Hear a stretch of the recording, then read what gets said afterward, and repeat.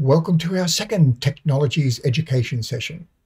This week we're going to be exploring the content of the Technologies learning area and going into the more specifics about what students need to learn. So we're going to explore five different aspects. Um, the first is looking at the level descriptions and the achievement standards of what students will be expected to learn. Uh, the content descriptions, which describe in more detail the specifics of what students need to learn, and the elaborations, which represent um, ways in which students can address the content. Now, one very important thing that I'm going to mention a few times is that the elaborations represent examples. They are not an exclusive set of content that needs to be taught. Um, you can pick and choose from the elaborations. You can choose to ignore them completely and come up with your own approaches to addressing the content. They are simply examples to assist teachers in understanding what might be possible and different ways and approaches of going about teaching design and technology and digital technologies. And then finally, we're going to look at some scope and sequence examples of how we can structure all of this content uh, to help it, help us as teachers make sense in planning programs of study for students and also help students give a summary of all the material that they're going to be learning. So let's get into it. First off, we're going to start with the level descriptions uh, for design and technology around the foundation year. So these represent what we want students to learn about design and technology in their very first year of compulsory schooling. So the key aspect of this is they need to be able to create at least one type of design solution for one of the contexts, or you can come up with your own context. Um, but essentially, uh, in your planning and how you structure what students need to be learning, you do need to allow them to have one opportunity to come up with some sort of solution to a problem. Now, in doing that, they need to design and produce it. Now, there's a couple of important aspects about that. First is design. They need to be involved in some aspect of creativity. They can't just be following your instructions or the instructions in a book or how to fold a paper plane or how to make a kite following some instructions they need to be given some, at least minimal opportunities to make some decisions about the design. Um, and that can be challenging in the very early years. Of course, students aren't well practiced, and much of the material will be um, guided by you or by other instructional material to help them with that process. But they need to be um, introduced to the concept of design even if it's making some choices between some pretty obvious options, maybe choosing the size of a wheel that goes on a toy car um, and how that changes the properties of that toy car depending upon the size of the wheel and how they might make different decisions around the size of the wheel depending upon what the car is meant to do. Is it meant to be able to go over some bumps? Is it be able to go very fast or to go a long way? How does that choice of wheel size make an impact upon their design solution. Okay, and they need to be able to produce something, even if it is a, a toy car produced by adding different sized wheels to it, um, or a kite, or a catapult, or a simple computer game, or a web page. These are all things that you need to think through around your planning of your technologies units. In this case, we're focusing on design and technology. And we want to make it fun for them. In the very early years, most of the learning should be um, encompassed within what's called a play-based curriculum or play-based experiences. So they're having fun with these activities. They shouldn't be seen as purely academic. Um, they're making a toy car so that they can play with that toy car making a kite so they can play with the kite, making a garden so they can go out and play in the, in the outdoors and grow their plants and have fun in the garden. Certainly, we want them to learn things, um, but we want to make it that happen through a play based curriculum. And we'll talk more about that, particularly next week when we explore pedagogy. And the solution that they design should have a purpose.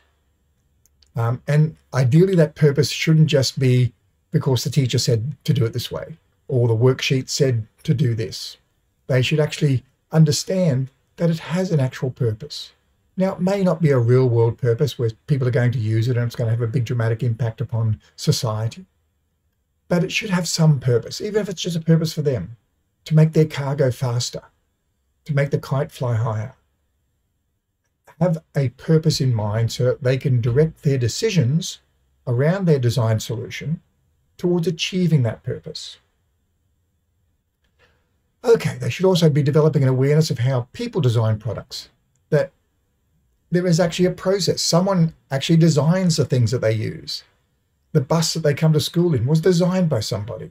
They made decisions about where the seats should go, how fast the engine should be, all of these decisions that went into making a bus or making their chair or making the pen they use to write with. And as part of that, then they should be seeing that there are alternatives in that decision making process.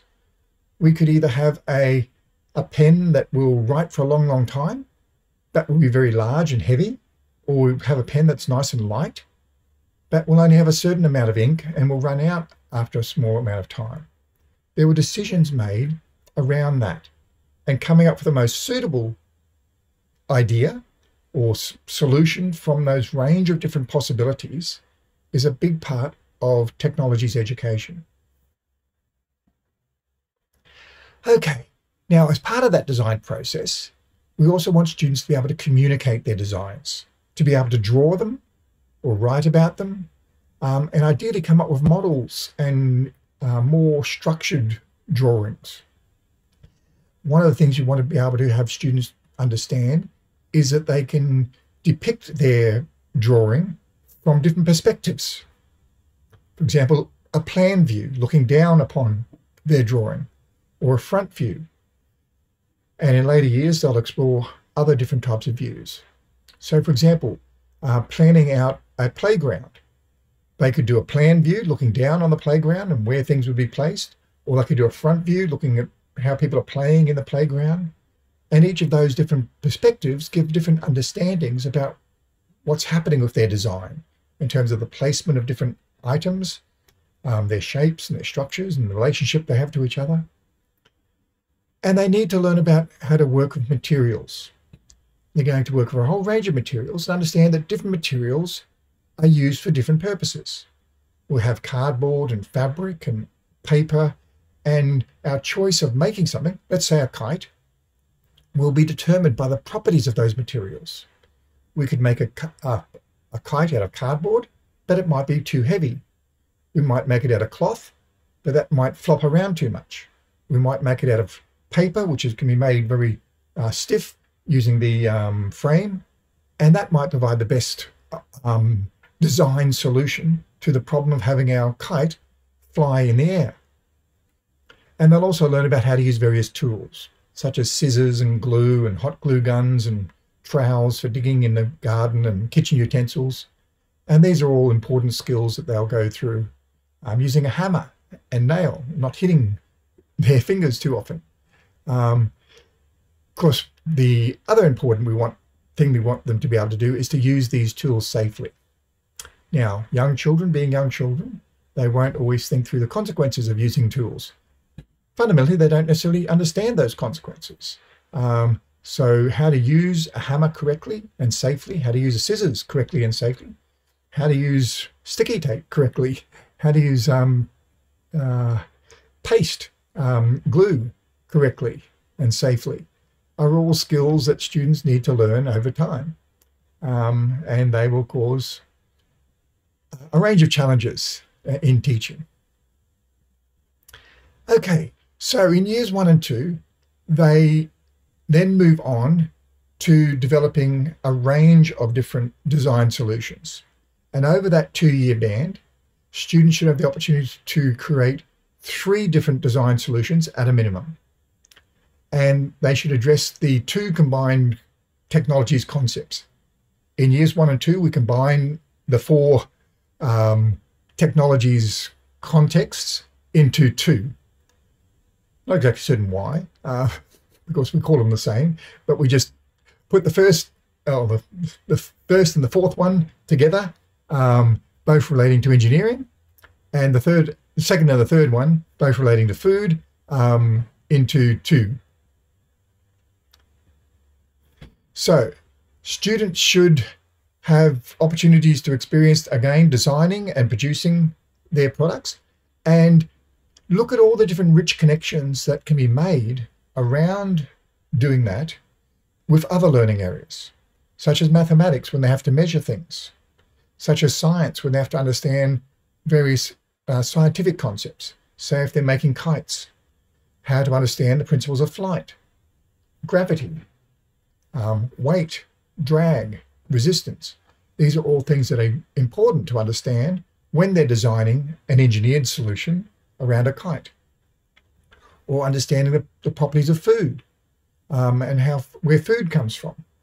In science, they learn about how plants grow and how the carbon cycle um, sucks carbon out of the air and infuses it within plants to build their structures and combined with nutrients and water, they produce nice flourishing plants. But from a um, design technology perspective, it's much more about how to place those plants in the correct location so that they receive sufficient water, they receive, receive sufficient sunlight, um, that the soil is aerated and um, provided with nutrients and all the rest. So different perspectives, but same activity addressing learning outcomes in multiple um, learning areas. Okay, so in years one and two, again, students will be exploring and investigating various technologies and the tools and the materials that they'll be using. But they also need to start looking now at sustainability, how to make sure that their solutions are sustainable, so that they don't impact negatively on the planet, uh, maybe so that they have minimal waste. Maybe they're designing packaging so that it has minimal wastage or it's biodegradable. So through this, they're looking at the impact of their decisions. So when they come up with their design solutions, it's not just looking at how it solves a problem, but also potentially what problems it might produce. Okay, they also need to start evaluating their solutions. Has it actually achieved what it was intended to achieve? Did we produce it in the best possible way? Could we have produced it using fewer re resources, produced less mess and waste? Uh, could we have done it more quickly and efficiently? Could the group have worked better and more effectively? So they then need to think about their role in those processes, particularly if it was a group task. How did they contribute? Did they generate ideas and help with that? Did they support other people's ideas? Did they allow everyone to suggest ideas? Um, so these are skills that students develop over time through doing various technologies activities. Ideally, they should have started developing different perspectives. How to think about, say, if they're looking at transport, um, what is it like for different people to arrive at school in different ways? Being dropped off in a car by their parents is one perspective. But did they gain a perspective of how people might, students might be dropped off on the bus or riding to school or walking to school or carpooling. These are all different um, experiences that, unless students think about them and consider various approaches and ways of addressing the problem that they're exploring, they may not consider. And then they need to understand that they'll have certain personal preferences. And other people will have preferences. And it's okay to have different preferences and different approaches. There's no necessarily one right approach. And allowing other people to have explore their approaches is just as important as having their approach explored and accepted. Okay, all of that often involves communication, and students will develop their ability to communicate their ideas and explain them, explaining how they're going to build a tower using Lego bricks to make it a, a, very tall tower. What bricks are they going to use? How large is the base going to be? How are they going to strengthen things as it rises up so that it doesn't fall over? and they need to explore those ideas and explain them. And often we'll use drawings and models to help with that explanatory process. And again, in um, years one and two, they should be doing two-dimensional images from different viewpoints. They need to plan out the steps, follow directions, and manage their own roles in projects to achieve these tasks. And think about those different um, aspects, that they're going through a planning process for a purpose. It's not just because the teacher told them to. It's so that they come up with a better design. Or they look at a range of different possibilities before they choose which of them they then um, try to implement. That they can follow directions, either the directions of their group, the directions of their teacher, of instruction manuals, and various other approaches that may give them assistance in coming up with their solutions. And of course, we want them to be able to work safely, but also cooperatively. How to work in teams is a taught skill, and we need to help um, prepare students to be able to work in teams effectively. Okay, then we come to years five and six.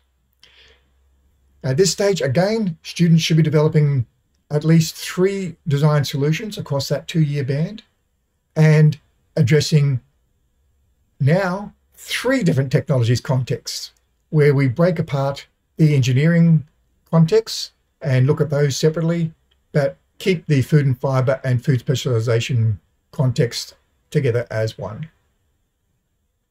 Oops. Again, of course, need to have opportunities for designing and producing and looking at the different rich connections that can be achieved with other learning areas. Investigating various tools and technologies, but now starting to look at how they are addressed within various contexts. So not just in their own home and their local school, but how their solutions might have an impact or be useful for their local community or for the Australian community or for regional groups, say for Queensland or for um, Outback Australia. And then also starting to think about things globally. How would their solution work in Africa or in Europe? And as they start having this broader perspective, starting to think more about how their solutions will impact society and the ethics around some of their decisions and the effect that they'll have on their environment. And we'll explore some of those in a bit more detail. They need to be thinking about why and for whom these technologies are developed. We don't create solutions normally just on a whim.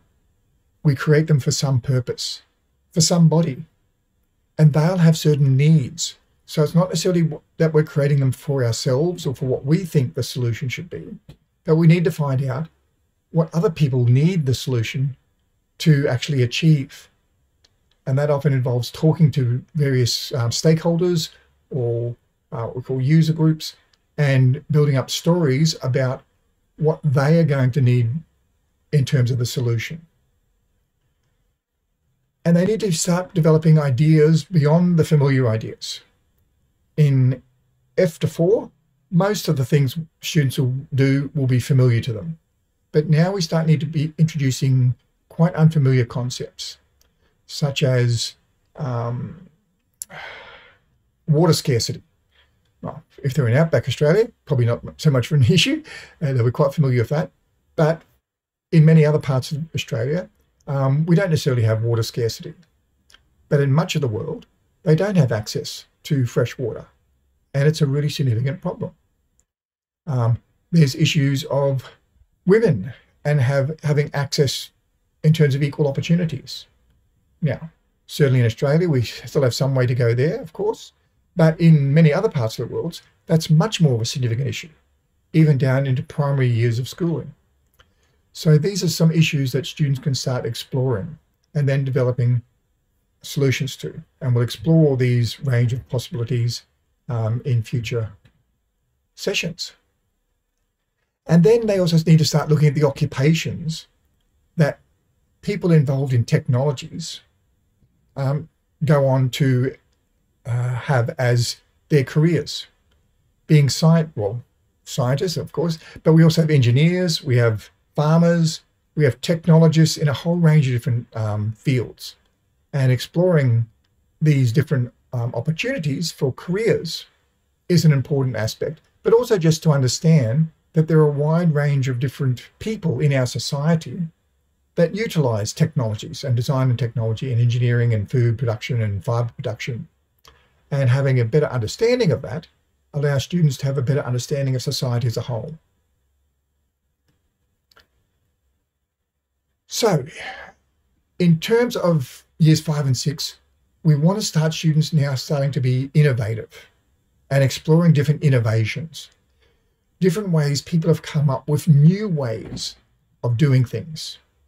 And often we look at historical innovations and um, the inventors that have come out of Australia and inventors happened overseas. We could look at the Wright brothers and the um, development of the first aeroplane.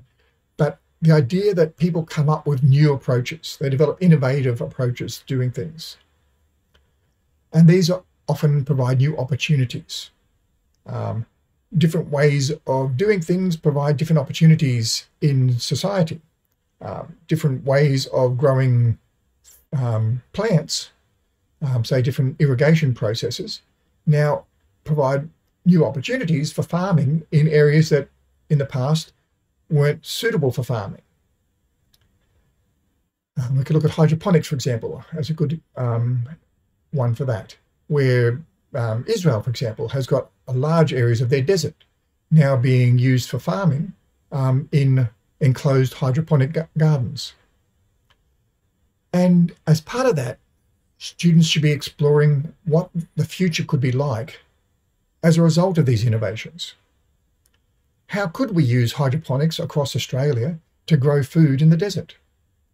How could we make dams in northern Australia to capture water during the monsoon season so that it can be released over the year to irrigate uh, vast areas during the dry seasons. These are things that students can think through as they imagine what the future could be like with various technological innovations. And this then leads them towards trying to achieve their preferred future, the world that they would like to see come about for themselves and for their descendants. And of course, students will be using a range of different technologies and tools and um, graphically representing these in a wider range, often using computer-based um, CAD systems um, to creating various models and storyboards showing how things uh, change over time, using thumbnail sketches to draw different aspects of their solutions, creating models and diagrams and um, the rest of the different opportunities to communicate their ideas. They should now also be labeling and annotating and producing sequence sketches showing how their design will be developed in stages and labeling that and showing various aspects and using drawing symbols um, to represent various things, putting in scales, putting in directions, um, say a, um, a compass to show up on a plan where north is positioned. Um, so expanding out their use of various techniques to communicate ideas about their design solutions or their plans for a design solution. And of course, they need to be working increasingly in groups. Um, and at this stage, negotiating things more. So not just being told, um, for example, what the criteria for a task will be for a project, but actually coming up with criteria on their own, negotiating with the teacher what the criteria will be for the success of their solution. Now that's a challenge for many teachers who are used to setting criteria and setting the outcomes of what students should be achieving. But by years five and six, students should be having a say in those processes, building the capacity for themselves to be able to set criteria, to think through what is it going to mean for this to be successful in terms of, of an outcome. Now that's a skill that needs to be taught. And if teachers only ever do that for students, um, they don't get an opportunity to learn that themselves. They need to be able to follow plans and complete design tasks safely, but they also now need to be able to adjust those.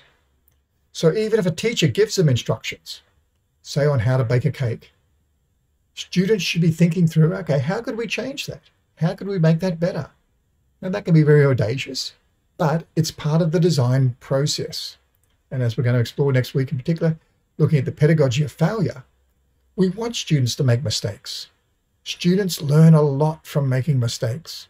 So allowing them to deviate from known solutions and known ways of doing things to come up with their own ways of doing things, even when we know they're going to make mistakes in doing that. It's a learning process. We're not teaching students how to bake cakes because we all want them to go off and become um, pastry chefs. We're teaching them so that they learn how to design things, how to make things, how to create things. And to do that, they need to be allowed to make mistakes. That's a big challenge for many teachers.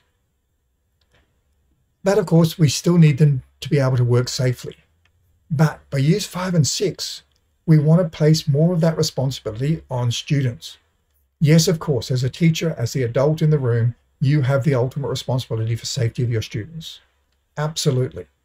But you want students to have some responsibility in that, even though you have the ultimate responsibility and ultimate say, and you'll step in if there's any danger possibly occurring. But your students should be able to come up with their own ways of keeping things safe, their own standards, what they expect their group to do, how they expect to use the hot glue gun, how they expect to move things around safely and um, efficiently in the workroom and so forth. Now, that again, of course, needs to be taught and learnt. They can't just jump straight in there and you allow them to make all the decisions. Of course, they will be unsafe. Um, by very definition, they are learning, they will make mistakes. So you need to do that in a quite a controlled, guided environment. But you still want to allow students to be able to make those decisions. Okay, now we come to what are called the achievement standards. These are what students need to be able to demonstrate by the end of the year bands. So by the end of year six, these are the achievement standards that students need to be able to show that they have demonstrated. Now, we don't just collect all the data at the end of year six. Um, often we'll be collecting evidence of how they can achieve these things from the beginning of year five. Um, and we build portfolios of evidence and um, we have that. But by the end of year six, it is expected that students will be able to do these things because the teachers in year seven will be assuming their students coming in can do these. And if they can't, that then messes up all of their le learning activities. Just as students coming into your class in grade six, or say grade five, you'll have expected them to be able to have demonstrate the things that the curriculum says they should be able to demonstrate by the end of year four. Doesn't always work that way, of course, but that's the ideal. So by the end of year six, students should be able to explain how people design products, services, and environments that meet the needs of communities and are sustainable. Uh, for each of the three uh, technologies contexts, Remember, we had the two engineering ones and the food and fiber and food technologies ones combined for years five and six. They need to be able to explain the features of technology's impacts upon design decisions and how they can create design solutions for those different contexts. They need to be able to process data and show how digital systems represent data and design algorithms involving complex branching and iteration. Now remember, this is for the learning area. This is not just design and technology now. This is for the whole of the learning area. Um, they need to be able to implement uh, programs using visual programming languages, and you're going to be exploring one of those um, in the tutorial this week. They're going to be able to select and justify their design ideas and develop solutions against design criteria. They'll, of course, be able to communicate their ideas and content to an audience. This is important. The audience bit is important. It's not just um, doing it because it's part of the assignment. And it's not just necessarily communicating it to you as a teacher, although you could be the audience. Uh, but ideally, it should be against a particular audience. Ideally, the people that are going to be using their solution or having their solution um, impact upon them. They need to be able to develop plans and select technologies and techniques that safely produce. Um, In digital technologies, they need to be able to securely access uh, various systems and to pro- process and transmit data um, using various communication technologies. They also need to have an understanding of their digital footprint and recognize its permanence. Now, these are things that we'll explore in more detail in the subject um, standards, but these provide an overview of the standards. Uh, they need to meet the needs of communities, including sustainability and their three design contexts. Oops.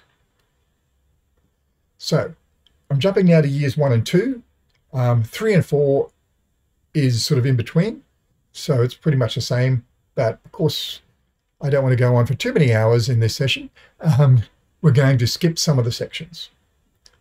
So it, in the earlier years, in years one and two, they again need to be producing a familiar, or they need to be able to describe the purposes of familiar products, services, and environments, um, including use of digital systems, different ways that these um, things can be addressed. So there's not just one possible product or service or environment, but there could be a range of different. And we have a process of choosing amongst those and developing um, different ones depending upon different needs. They need to be able to develop basic algorithms and meet the needs of known users. So this is different to um, different audiences.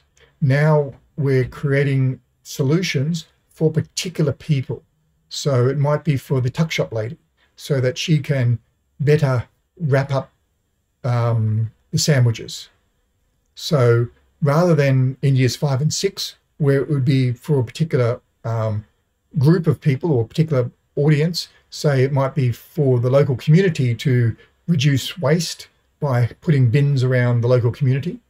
Um, in years one and two, we pick a particular person or particular specific um, element that we develop a solution for. Um, and years one and two, we reduce down to just the two contexts um, and simplify what they are trying to address, where they're looking at the main features and uses of the technologies and creating solutions rather than the broader elements that we looked at in years five and six. And of course, they're fairly familiar to you. Oops. Okay, so now we're going to look at a particular subject, design and technology. So we looked at the, the um, learning area. Now we look specifically at the subject, very, very similar, of course.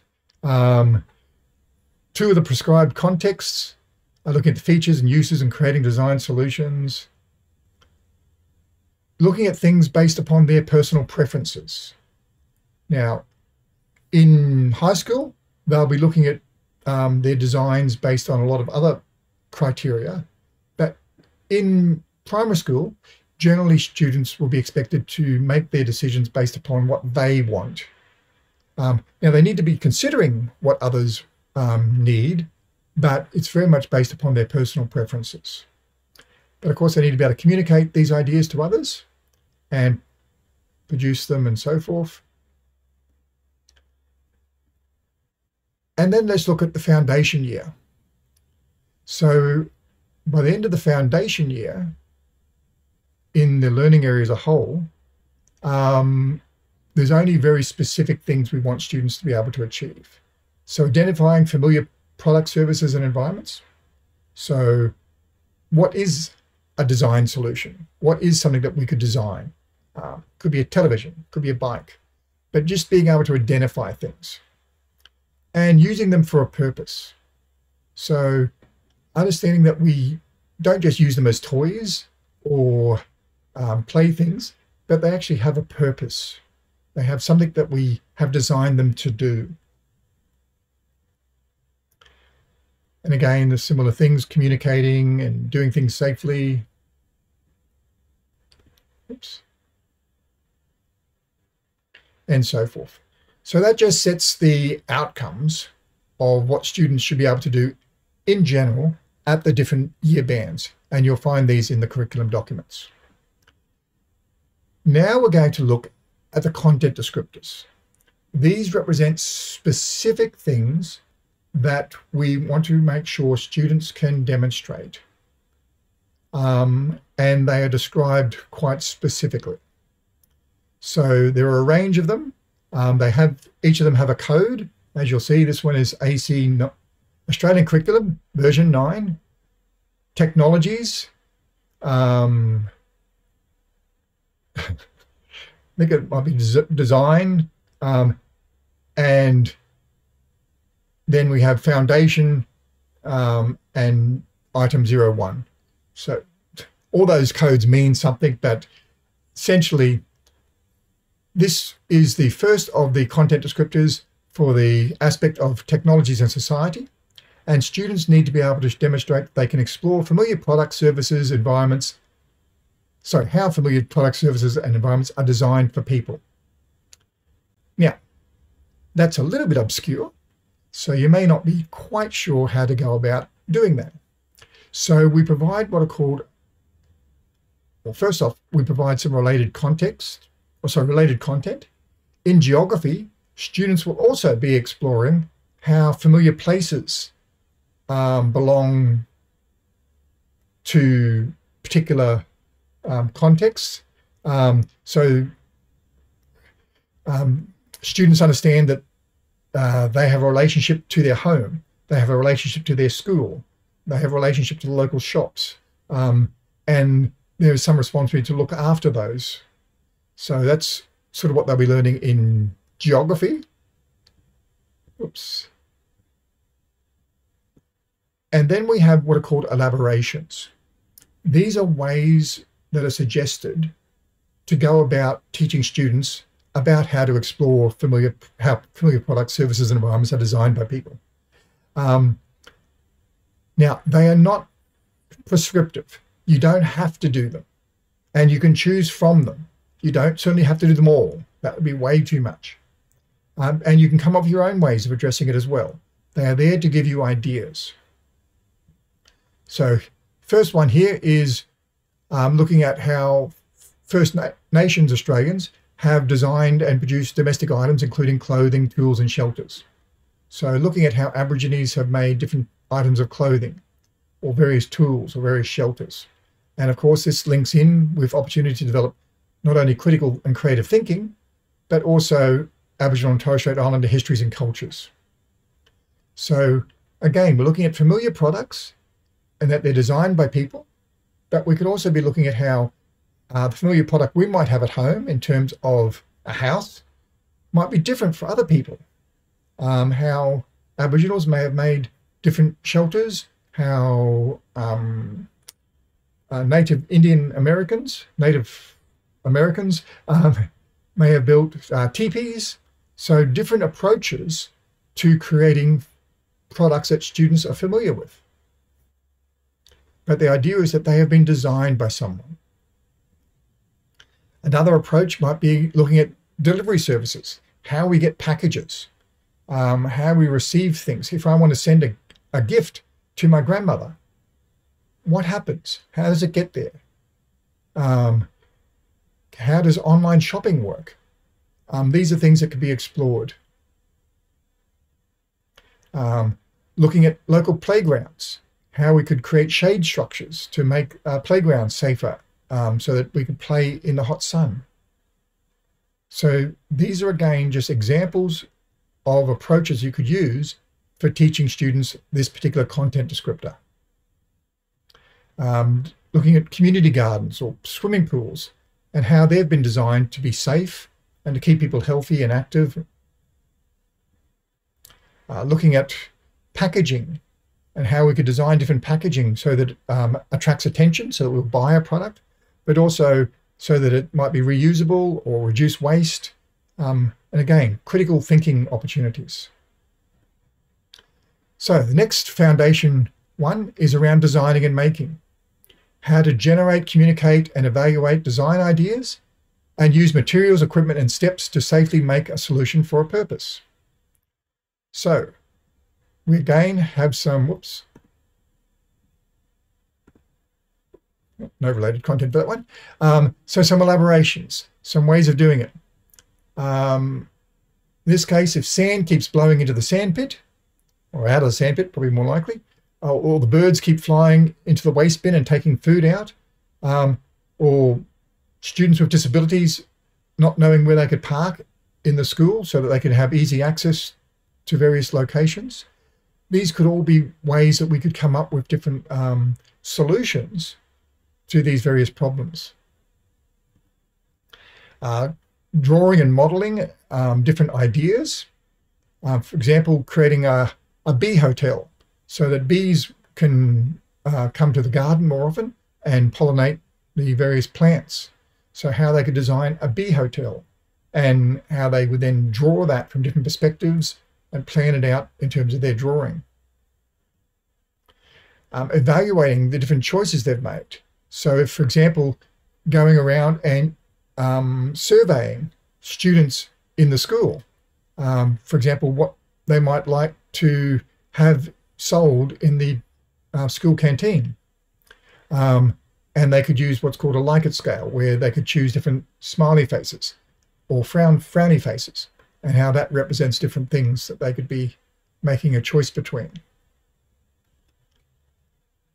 Other examples using various blocks to, and construction material to make rain gutters, or a ramp to roll a, a ball or a toy car down. Um, so all of these are approaches for generating, communicating, and evaluating design ideas using materials and equipment and steps to safely make a solution for a purpose. So they're activities. A few others, um, looking at different materials, for example, to make um, something to keep seedlings warm or a structure, a trellis to uh, hold up tomato plants and the various tools and materials that will be needed to do that assembling components of systems and checking they work together. For example, making a bowling game or a stacking game or an obstacle game using various packaging material. Okay, so take a little bit of a break. That's giving you a bit of an overview of the content of the curriculum, um, some of the theoretical elements describing the um, outcomes that we want to see students achieve by the end of various year bands, and then starting to look at some of the content descriptors and elaborations that delve into the activities that you'll do with students that will help achieve those um, learning outcomes that we want students to be able to accomplish. And I'll see you in a few minutes as we come back and start looking at some of the other uh, content descriptors. Well, welcome back. Now we're going to look at content descriptors for years five and six. So we looked at the earlier years. Now we're going to look at the um, upper end of primary in design and technology. So first off again, as we know in the design technologies curriculum, we start by looking at the technologies and society. And the first of the content descriptors in this is explaining how people in design technologies occupations consider competing factors, including sustainability, when they design products, services, and environments. So how we actually look at various design and technology related jobs.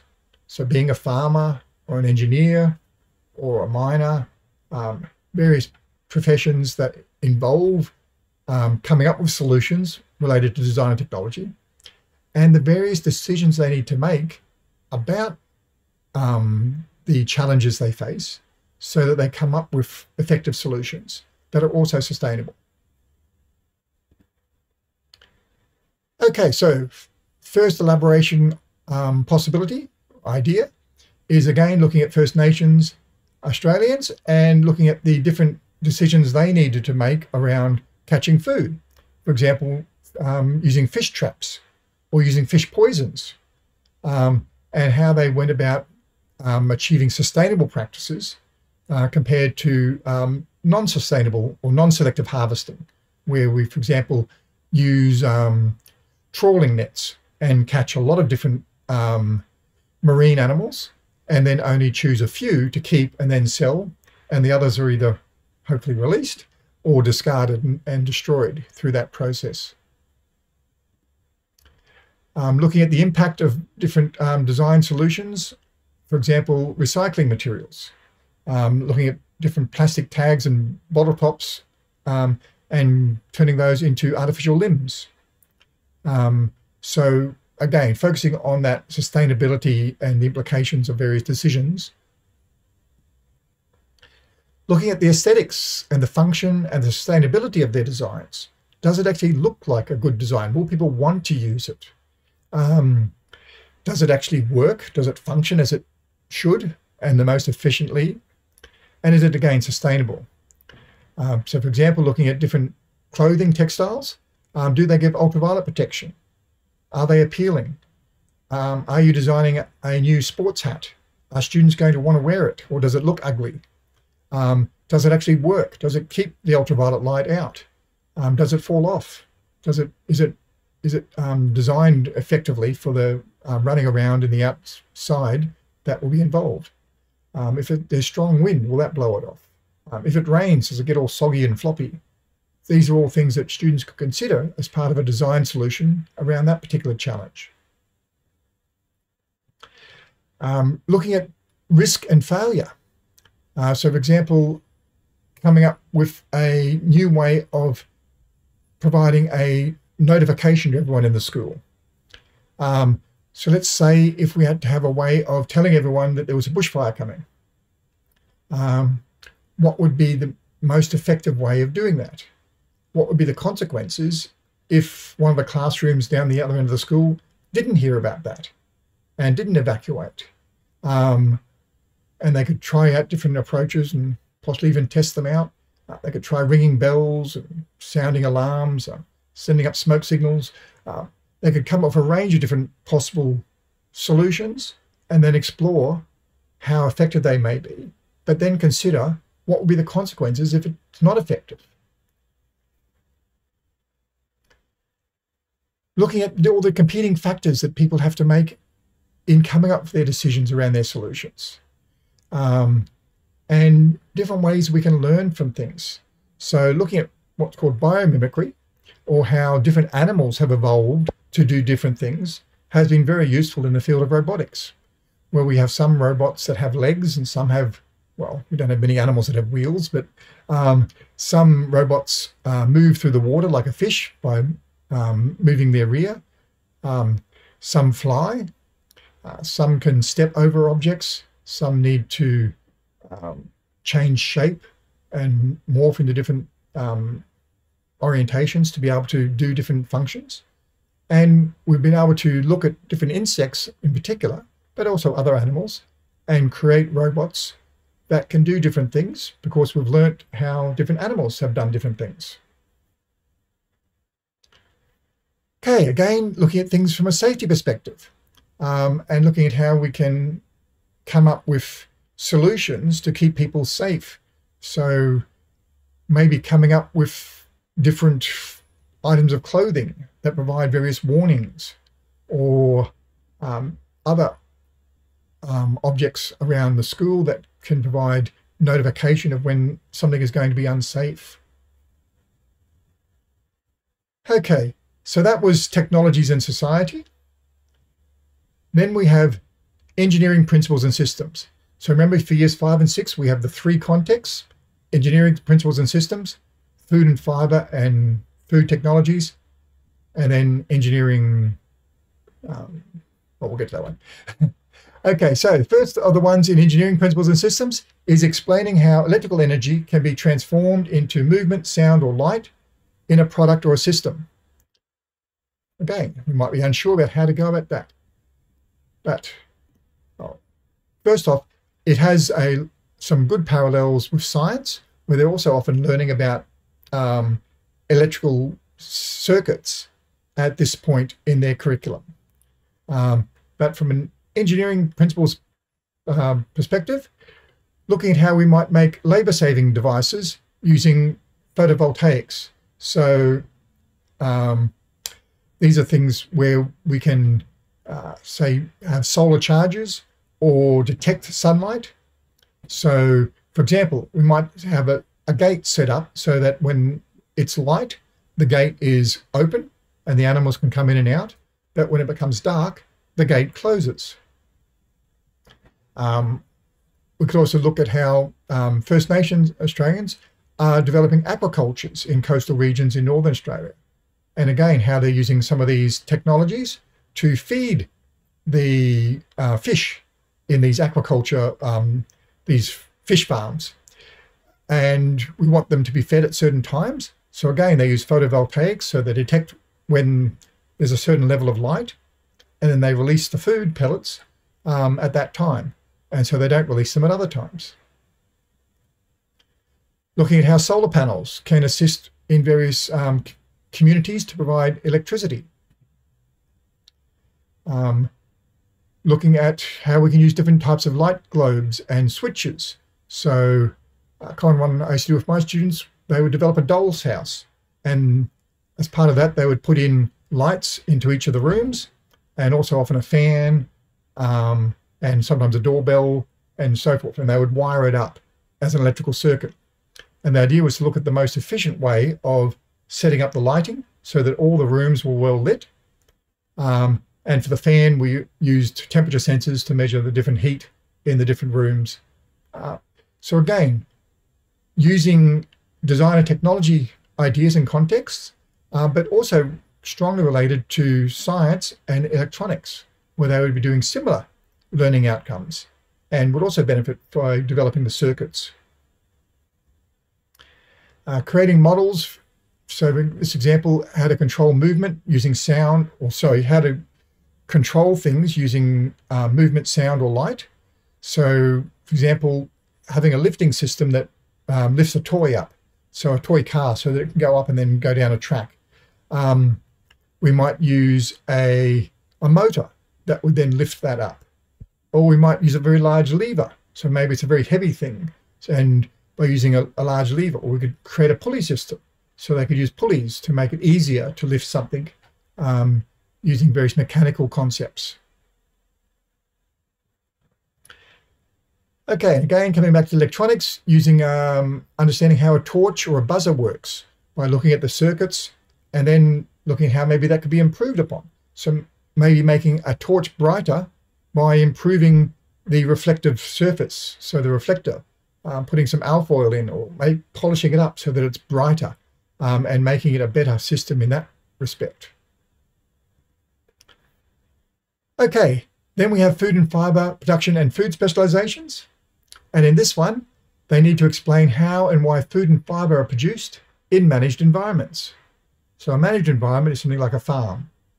Um, so it's not a completely man-made environment, which would be something like hydroponics. And it's not a natural environment, which would be like a national park. Uh, a managed environment is something that we actively manage, uh, but it's still part of nature. So a few elaboration ideas and examples. Um, looking at before colonization, um, uh, First Nation Australians had discrete communities that cared for and protected different areas and harvested different types of natural foods um, and had some plantations such as bunya nuts and macadamia nuts and finger limes and things of that nature. Looking at the different tools that will be used in doing these things, such as um, preparing soil and the effect on soil of um, that sort of preparation, uh, providing nutrients and making a. We often uh, have school gardens. Most primary schools now have a school garden that are used for these activities. Looking at the relationships between different animals and plants and how we can have some animals feed on different plants and improve their productivity in terms of um, growing more healthy, um, but also how animals can provide manure for for plants and um, the nutrients into the soil in that way. Looking at how we can sequence various processes um, uh, for on-farm food and fiber production so that it can be made suitable for sale. So how we can clean it, how we can process it, how we can package it, how we can transport it. Um, these are a range of different processes called the paddock to plate supply chain. or the fiber to garment life cycle.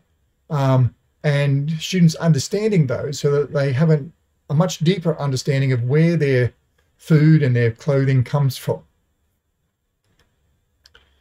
You could visit a farm and participate or participate in a virtual tour of a farm and ask questions and investigate how different things are made and produced and, and how the different farm workers do different jobs.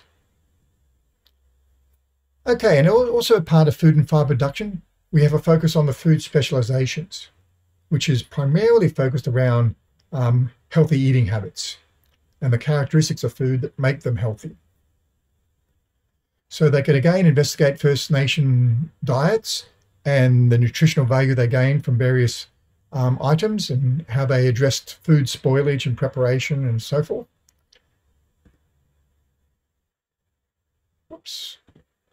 Um, looking at various tools and equipment and ingredients, they could make various food items and look at the nutritional value of those. They can make various selections, um, look at different ways of preserving food, such as drying it, fermenting it, and sun drying versus air drying and pickling, um, so that it doesn't spoil.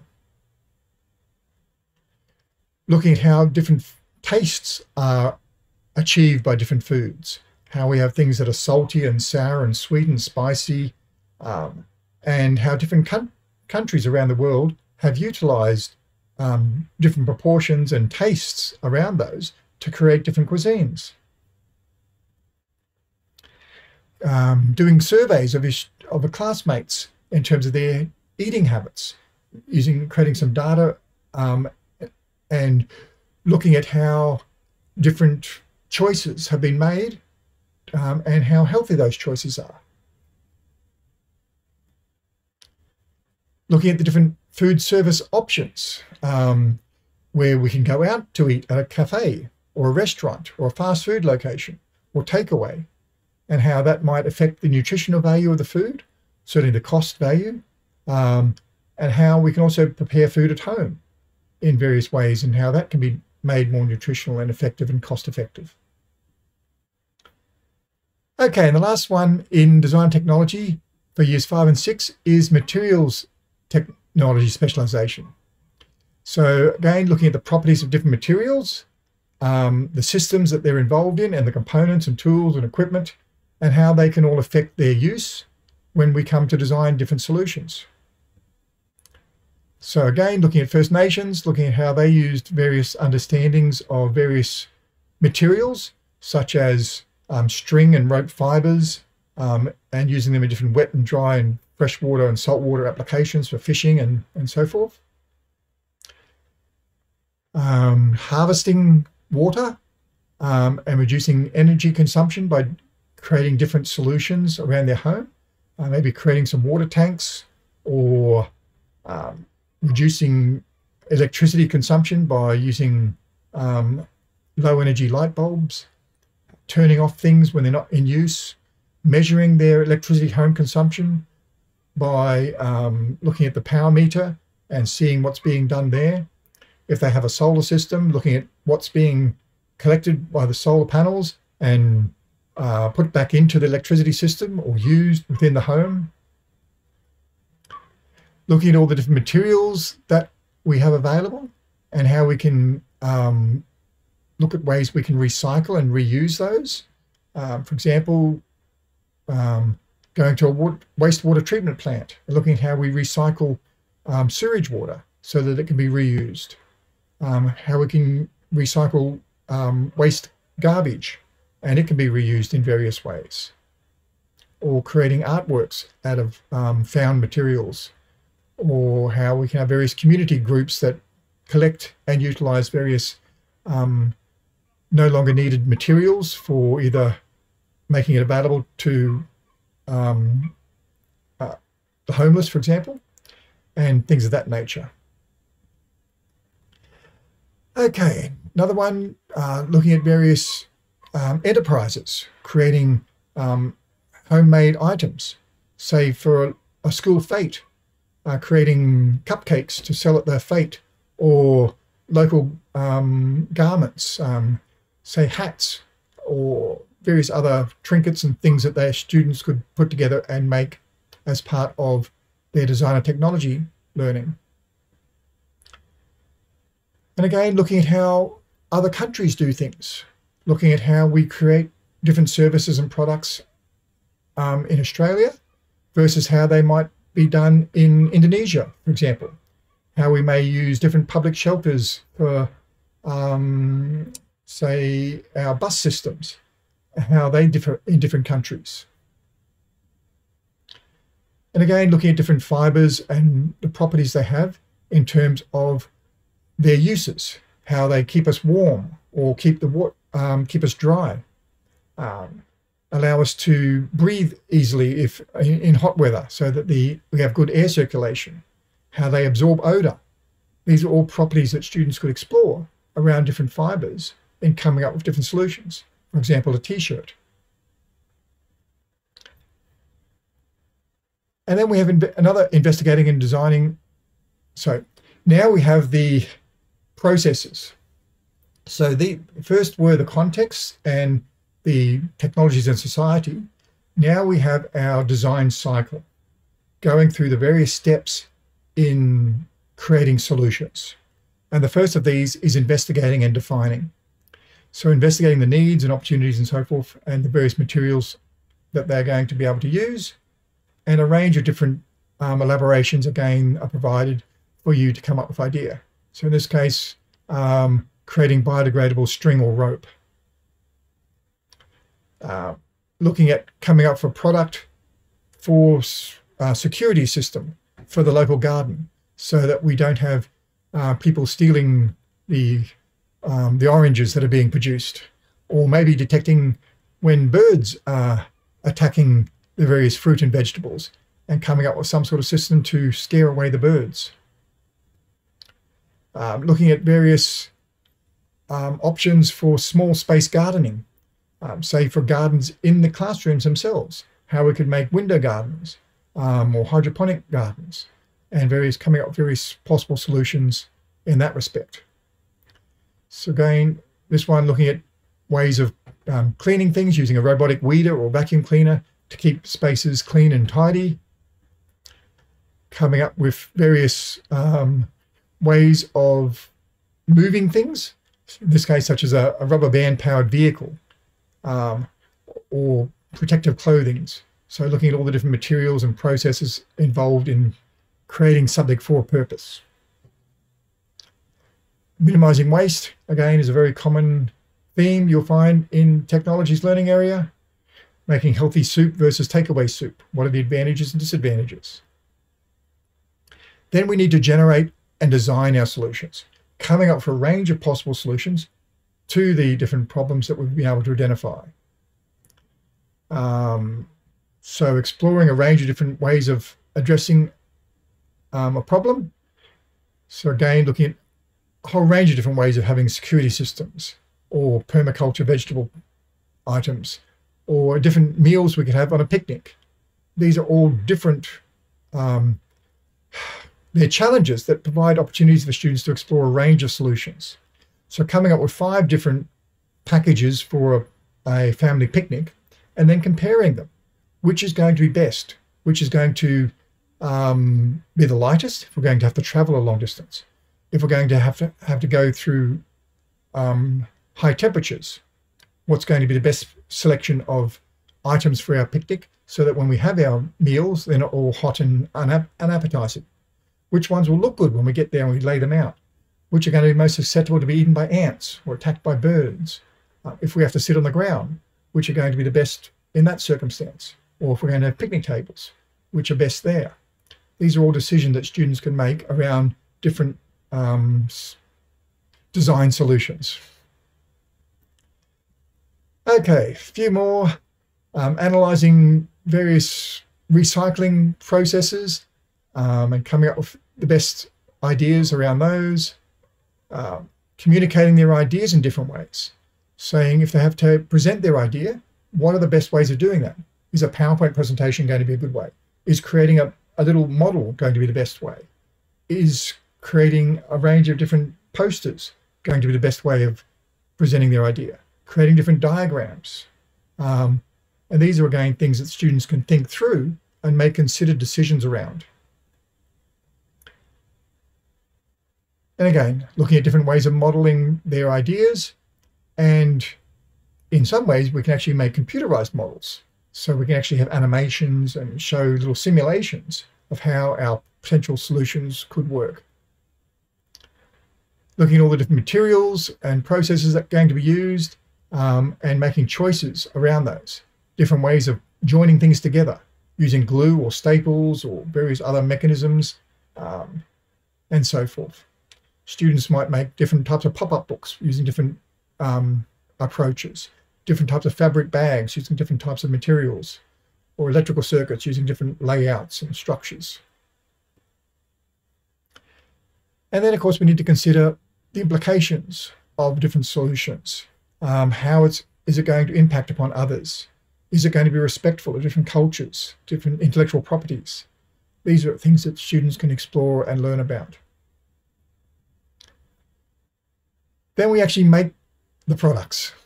So we've come up with ideas, we've designed a whole range of different possible solutions. Now we choose one of those and we make it.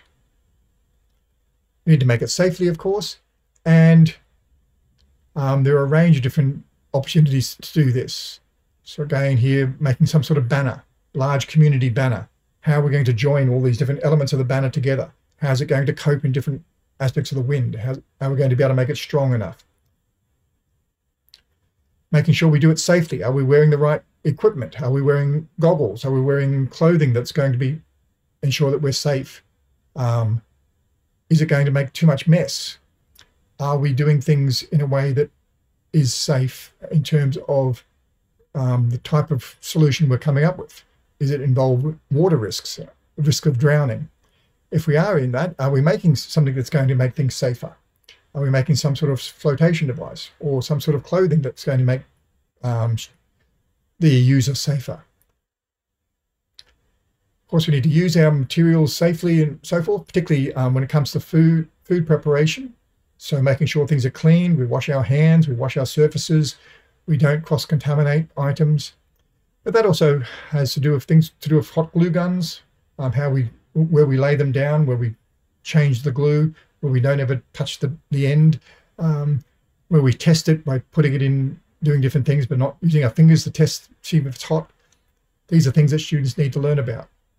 Likewise, when using electricity, um, most of the stuff we tend to use with batteries, but sometimes there is still the potential for electrical shock and we need to learn those processes, particularly when we need to have students understand that while we may be doing things with electrical circuits using batteries, AC power pre presents a much greater risk, and students need to learn that.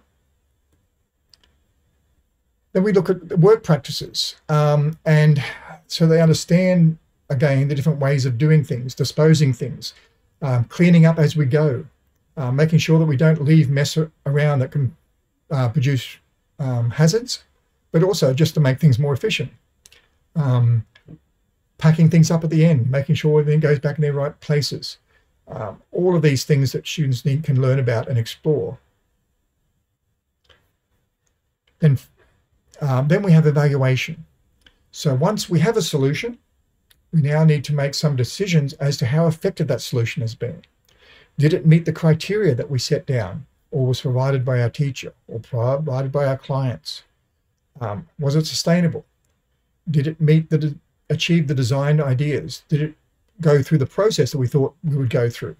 Did we work in a team as effectively as we would? So again, some things that we could explore as um, approaches to teaching students about this, having students come up with their design criteria and collaboratively come up with ways of measuring whether or not it is going to be a good, effective design. Um, looking at the use of different materials and equipment and some sort of criteria that students could come up with um, around sustainability of that. How much plastic are we using? How much paper are we using? How much metal are we using? Which is the best to use? Which is going to be most durable? Which is going to be need to be replaced more often? These are all things that they could consider in their evaluation um, iterating their design, going through it more than once so they can improve upon their design based on their evaluation. Evaluation is all well and good, but unless students have an opportunity to make changes based upon the evaluation, it is all a little hollow.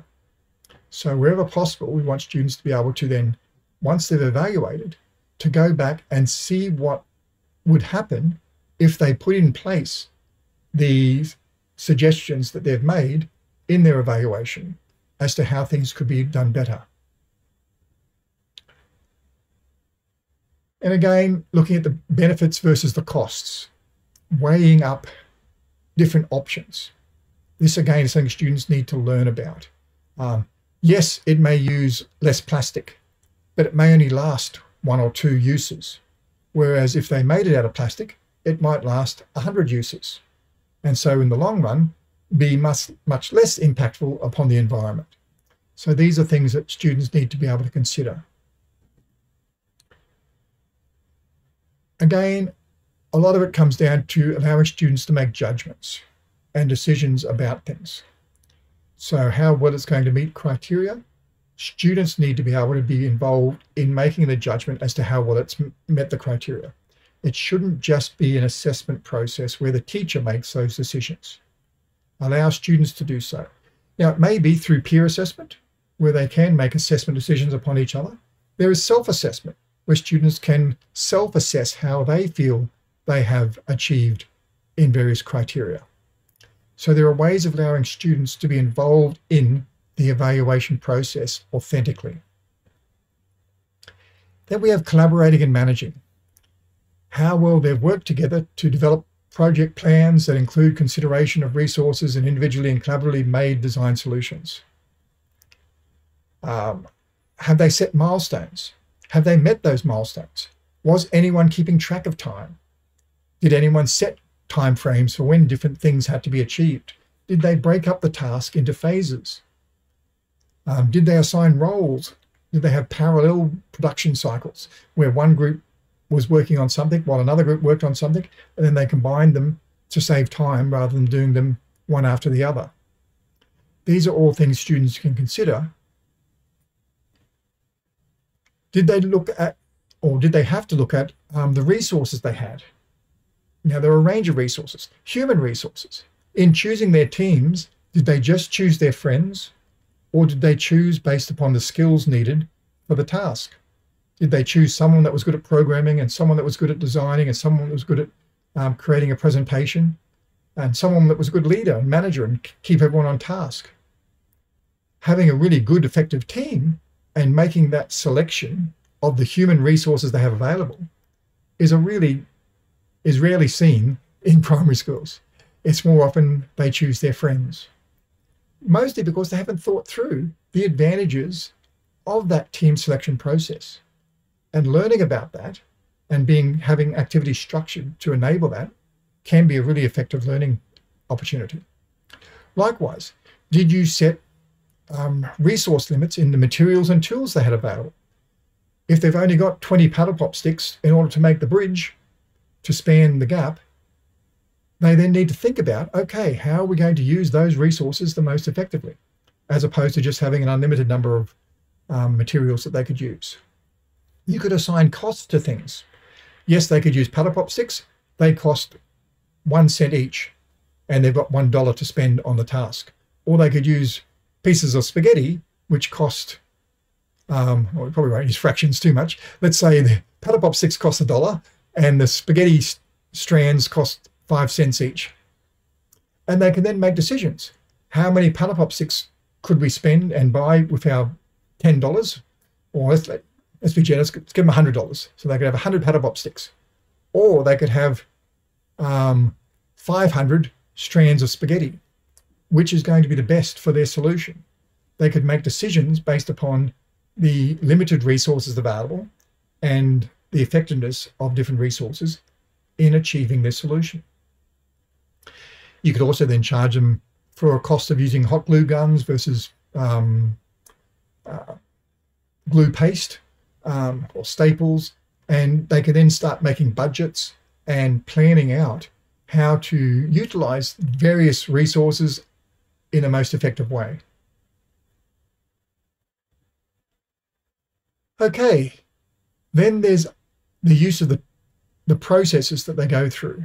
Um, did they plan out the time they had available?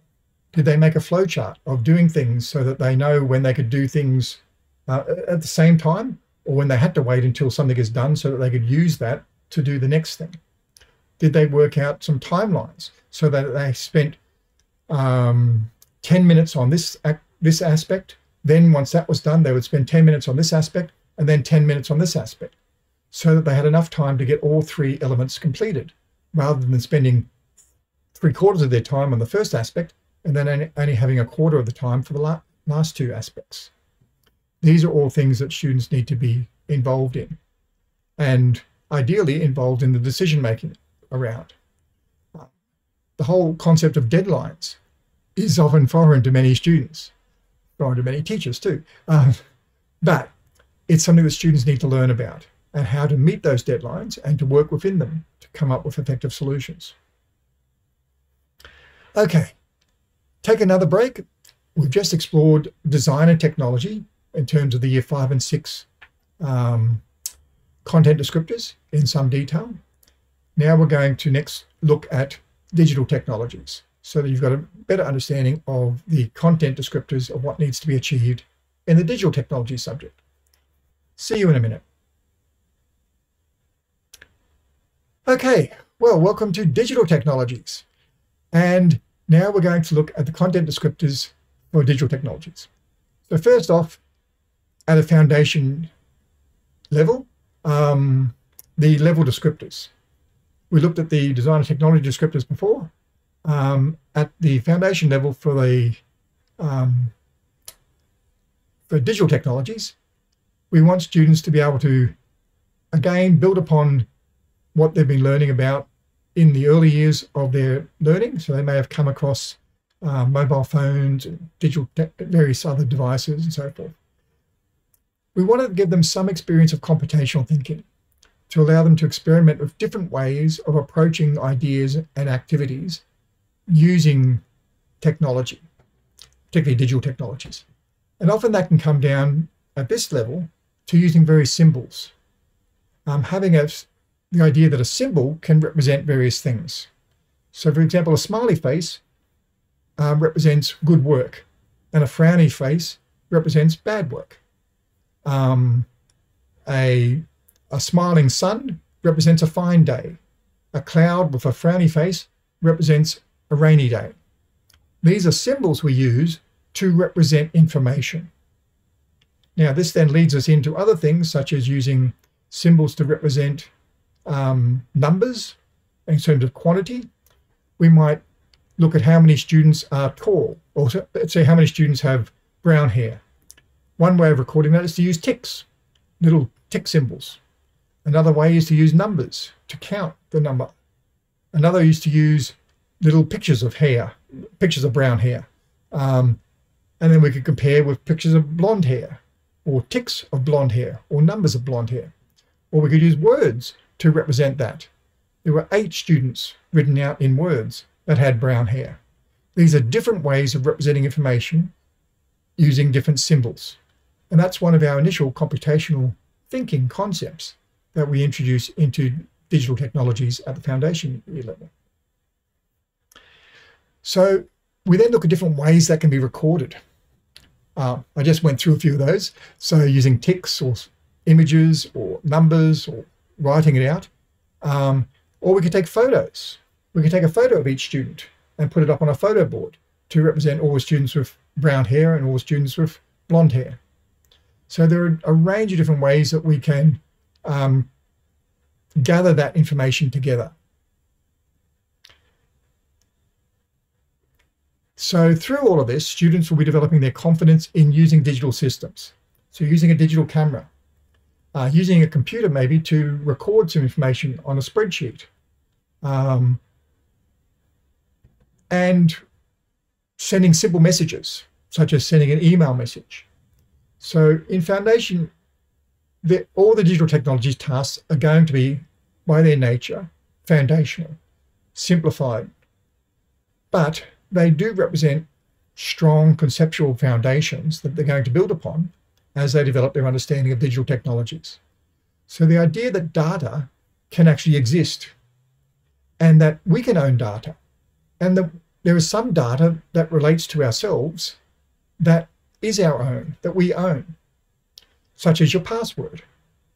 Um, there might be some data about where you live that you might want to keep private so that only your friends and your family know where you live, but strangers don't know. So these are things we start exploring the concept of data and information. But some data is more public, such as having a photograph of your school might be public. It's available on the school website. But a photo of you might be just for your parents and for yourself at home. And these are things that are then explored.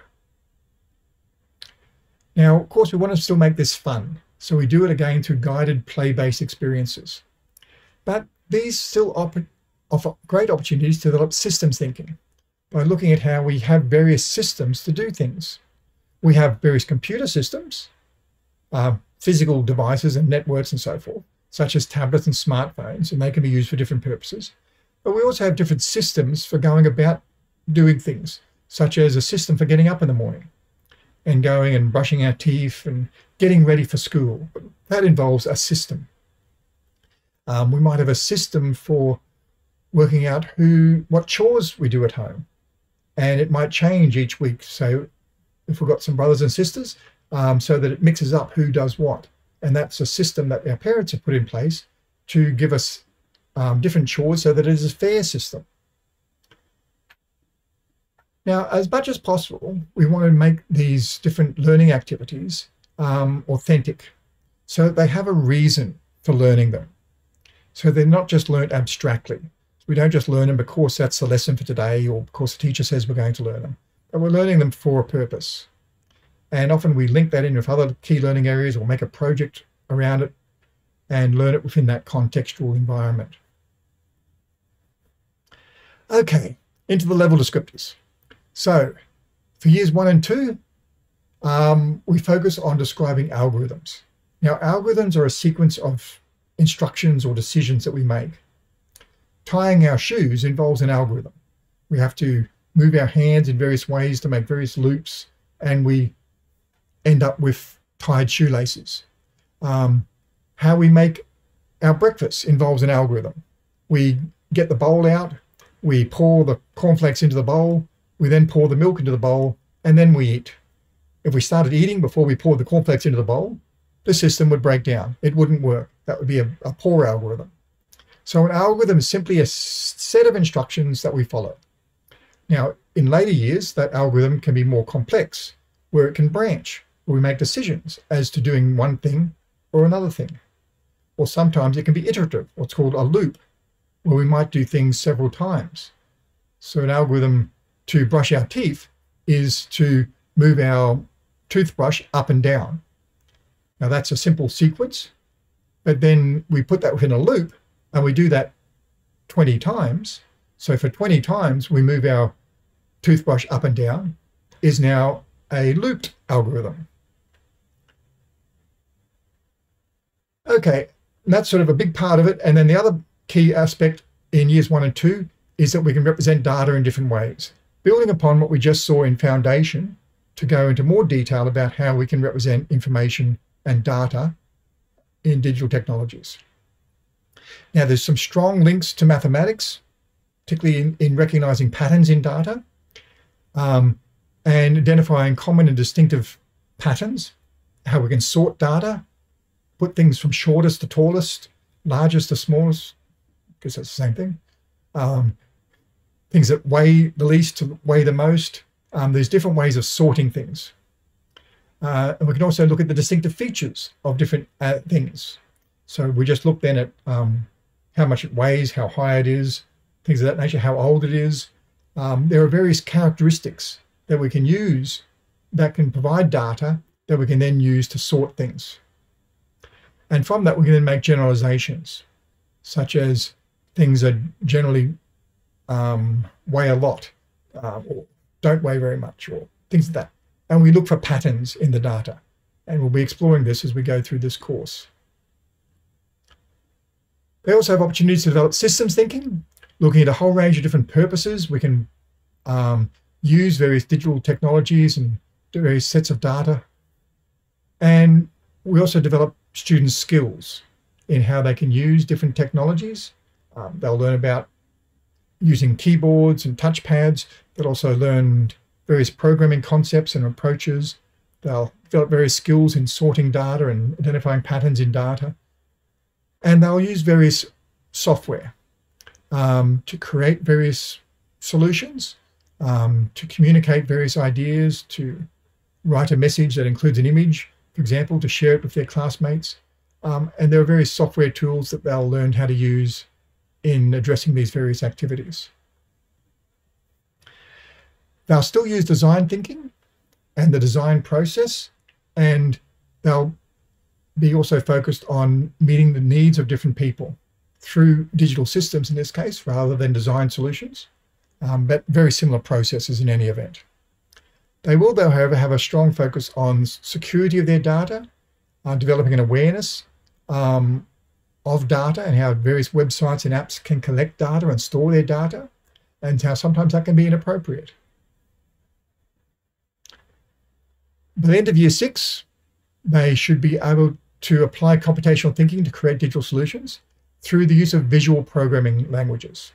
Now, visual programming languages are ones that use predominantly icons rather than text.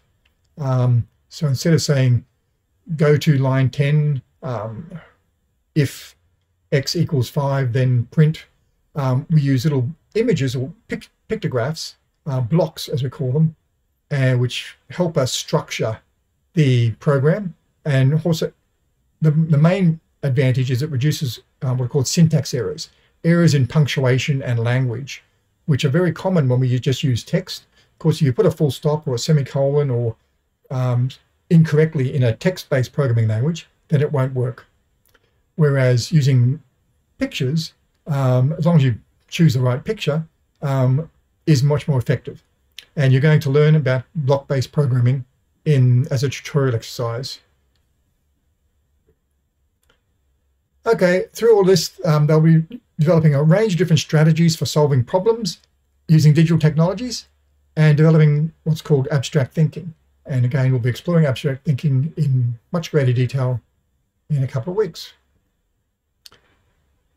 Okay, so they need to be able to represent their algorithms using visual programs.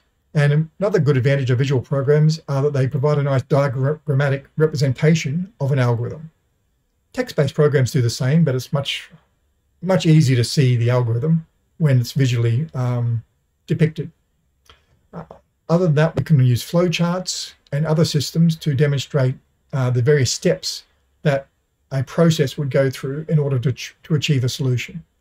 And we don't just use algorithms for digital solutions. We can have an algorithm for how to, as I mentioned before, brush our teeth, um, which could be um, depicted as a flowchart, um, setting out the steps and iterations or decisions that are made in that process.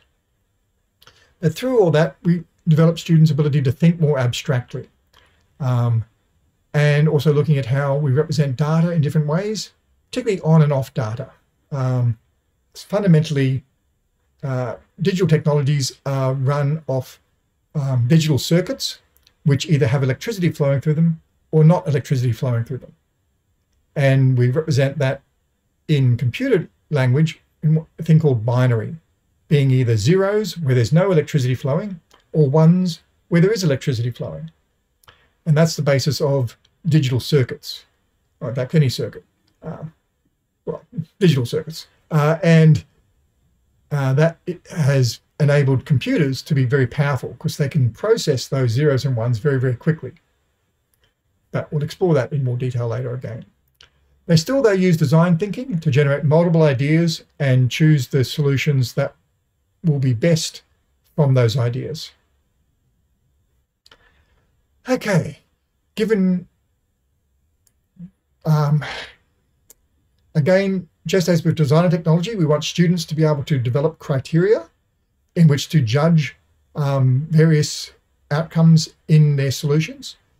And we also want to have what's called student-generated user stories. In design and technology, we talked a little bit about clients and about who would be the end users of the solution. In digital technologies, we often generate those clients abstractly. uh, we come up with ideas of who they would be, and we call those user generated stories. So we make up who the user would be, and we describe them, and then we come up with a solution to meet their needs. Um, now, ideally, we could probably go and find real clients again in digital technologies, but this is just how the computer industry does things a fair bit.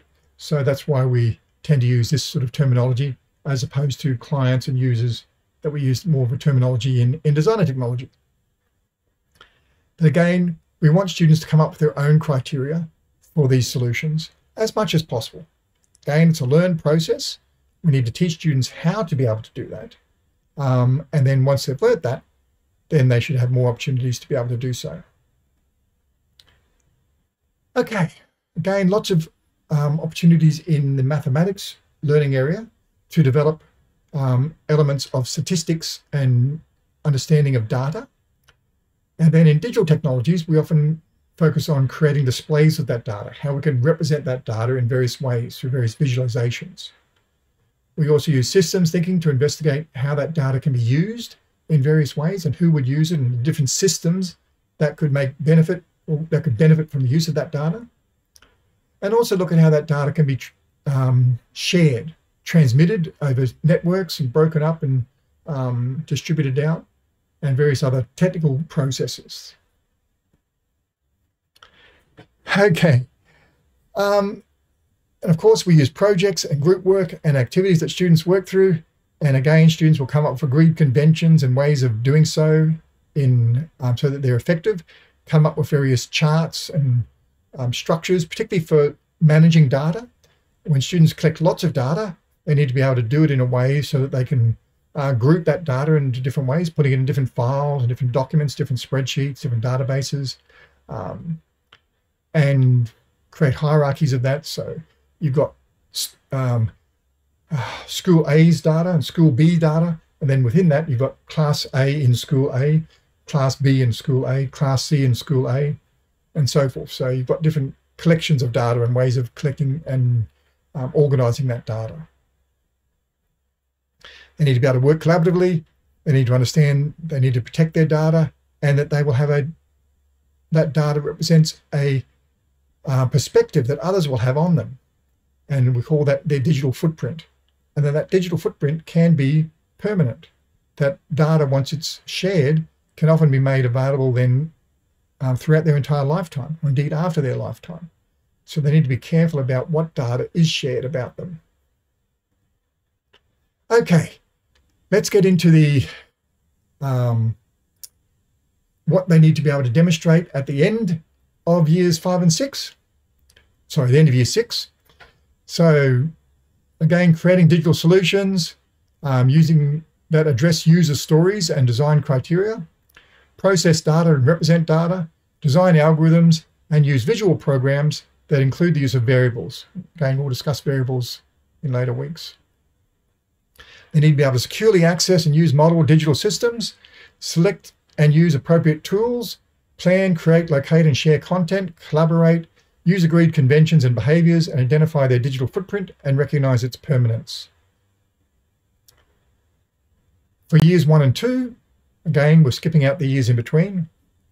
We're already looking at lots of information today, so we're just looking at the um, end of primary and the beginning of primary.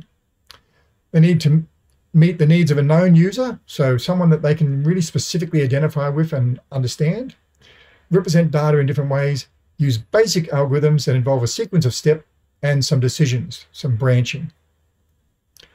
Uh, with the assistance of the teacher and others, they need to be able to access and use digital systems for a purpose. They need to be able to use common tools, create, locate, and share content, and collaborate using agreed behaviors, and recognize again that this, these tools may store their data online and that that may be sometimes inappropriate. They need to be able to be familiar with various digital systems and use them for a purpose. They need to be able to represent data and use objects, pictures, and symbols to um, demonstrate aspects of that data, and that some data can be owned by them. Okay, so From all of that, we have some specific content descriptors. In Foundation, the first of these relate to digital systems. And these are their ability to recognize and explore digital systems, hardware and software for a purpose. So some elaborations on that, again, being optional ways of approaching addressing that particular content descriptor. We have using a smartphone or a laptop or programmable school and recognizing that they can interact with that. Playing with different digital systems and exploring their purpose. So, for example, using uh, speaking to the class using video conferencing. Taking photos, asking permissions of people to take their photos. Um, looking at the close-ups of photos and seeing how they, they show more detail making a model of a digital system, such as a cardboard robot or cardboard computer, and drawing out a keyboard and a screen and putting some app icons on that and um, explaining then how it would work. Next area is data representation, representing data as objects, pictures, and symbols. Um, this fits in very strongly with um, the HASS area of questioning and researching, where they sort and record information, and also in mathematics and statistics, where they collect and sort and compare data. Some of the ways that they can do that drawing a picture that represents each of their family members, their interests. Um, so, for example, holding a surfboard or skateboard. Using coloured blocks to represent um, attributes. So, um, number of blue blocks represents the number of students in the blue sporting house. The yellow blocks represents the number of students in the yellow sporting house. And then they can count those blocks and see how many students are in each of the houses. Um, again, just using objects to represent various elements of data. Using various symbols to represent various ideas and things, such as different types of flags representing different countries or different communities within a country. Looking at the Aboriginal flag and how the symbols on that represent different things, such as the sun and the land. Looking at privacy and security, and identifying data that's um, personal and owned by them. This again fits in with mathematics and statistics, um, but they could list things that they own, that are personal to them. Their toys, um, photos of themselves, photos of their parents. These are things that um, relate specifically to them and are private versus things that are more public and um, open to others to utilize. Looking at various apps and websites and how that they can collect information um, and how that they may need to get their parents or carers support to use various um, apps and websites that involve usernames and things of that nature and passwords and okay so that's the foundation year. Take another bit of a break, and then we'll come back and look at digital technologies content descriptors for years five and six. Okay, so let's now look at the content descriptors for digital technologies. I've got DNT there, but that's where that should be DT um, for years five and six. So the first of these is digital systems investigating the main internal components and common digital systems and their functions. Different ways of doing that. Um, getting a whole lot of um, devices and looking at how they work. So some tablets and how they might perform various um, computations, looking at a calculator, how it does things. Um, ideally being able to pull them apart, looking at the chips and various things inside them, looking how a keyboard works, how a mouse works. These are things that um, can be explored. Looking at the idea of what, what's called a central processing unit, which is a chip inside a digital device that takes information in, processes it, and sends information out, and how they work together to do things. Investigating the various elements of a digital system. So how a video conferencing system works, so how we need a computer, how we need a camera, a microphone, um, a digital modem to transmit the information. These are things that form a system that allow us to do things using digital technologies. Then going into more detail about how digital systems form networks and transmit data between these networks. Looking at how we can connect various computers together and how they can transmit information. How sometimes that can be transmitted by cables, how sometimes it can be transmitted by um, over the air through um, radio waves or through um, microwaves or through satellites. There are different ways that we can transmit information um, to allow a network to form. There are various ways we can structure this information so that it can be transmitted more efficiently. And generally, we break things down into small pieces, which are called packets. So we don't send an entire picture in one big um, bit of data. We break it down into thousands and thousands of small little packets, and each of those are sent off with an address bit of information that tells us where to where it's to go, and it's sent off through various nodes in our network, and it eventually gets to the other end, and it's then put together. All these little packets are again then put together. Now there are various activities that we're going to be exploring in this course that allow you to teach this. I understand that it's probably new to many of you, and some of this starts sounding probably starting to sound a little bit scary. Don't worry, there are lots of activities that are already existing now um, video clips, games, um, projects, and just general activities that students can use to learn about these concepts. They're all really, they're all relatively simple concepts. I know they're starting to sound quite complex, and at their highest levels, they can be complex. But at the level we're talking about in primary school, they're not particularly complex, and you'll have no problems teaching them and students learning about them when you examine the resources and explore them in, in detail. Just looking at them in abstraction as we are now, um, I can see how they would be worrying. But don't worry, they'll start making much more sense when we start looking at all the resources and activities that you'll be able to use with your students. Investigating how satellite phones and mobile phones work and when they're and when and why sometimes you have areas when they but, but they don't work when the data network is inaccessible. Oops. Next bit is around data representation, how we can represent data using numbers. So various processes such as sending coded messages based upon their position in an alphabet and doing little simple code activities is a common approach to teaching this. Um, how we can change things by adding numbers and performing um, calculations on data that allows us to do different things. Whereas adding letters together um, is not as flexible.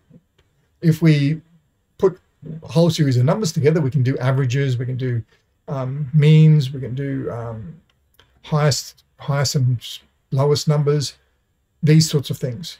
When we put letters together, we don't have as many options to, to manipulate that data and to do statistical work with it.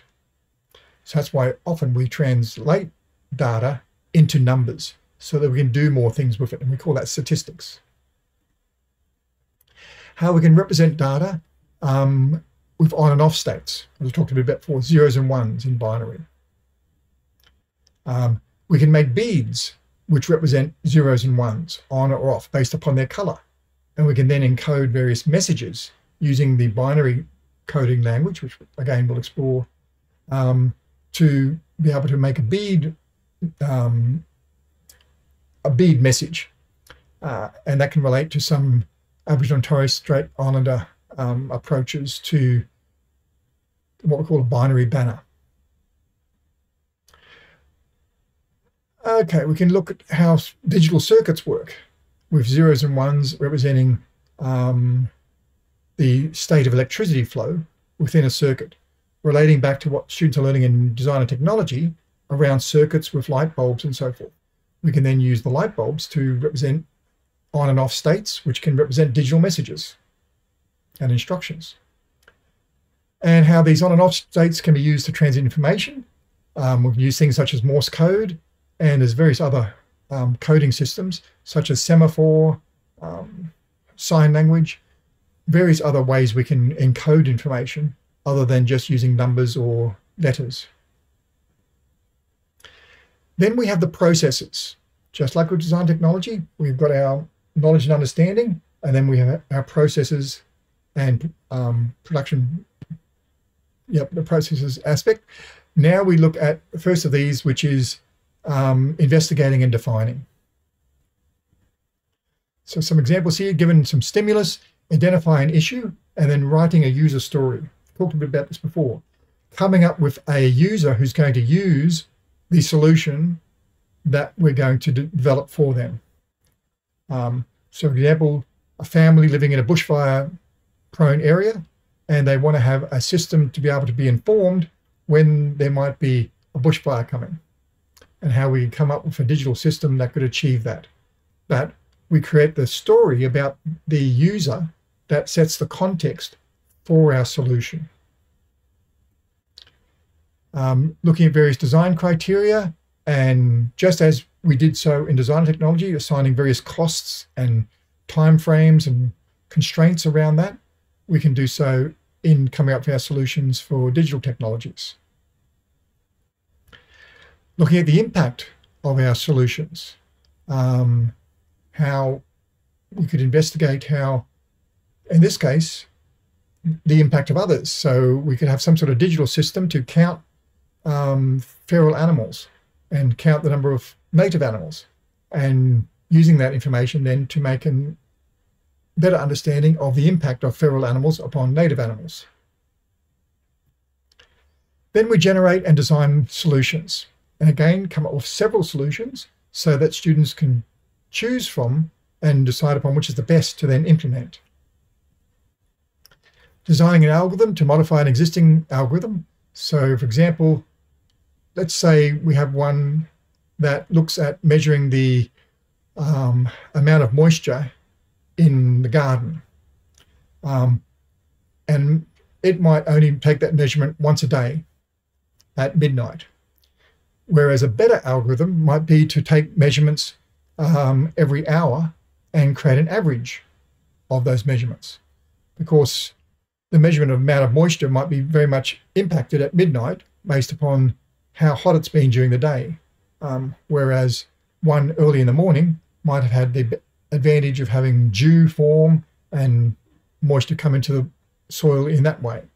So again, looking at the algorithm and ways it can be improved upon creating steps and decisions and loops in an algorithm and understanding what they're for.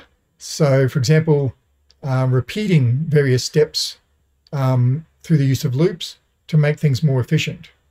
Um, so, say, for example, if you're going to have to do a lot of counting, um,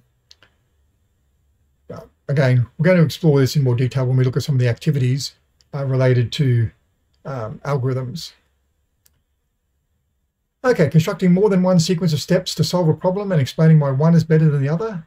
And with algorithms, that can be, often be done mathematically. We can actually work out how many steps one algorithm would take um, versus another. So, for example, making a way through a maze, how many different decisions are going to be needed using one algorithm versus how many decision steps of choosing which way to go will be taken using another algorithm.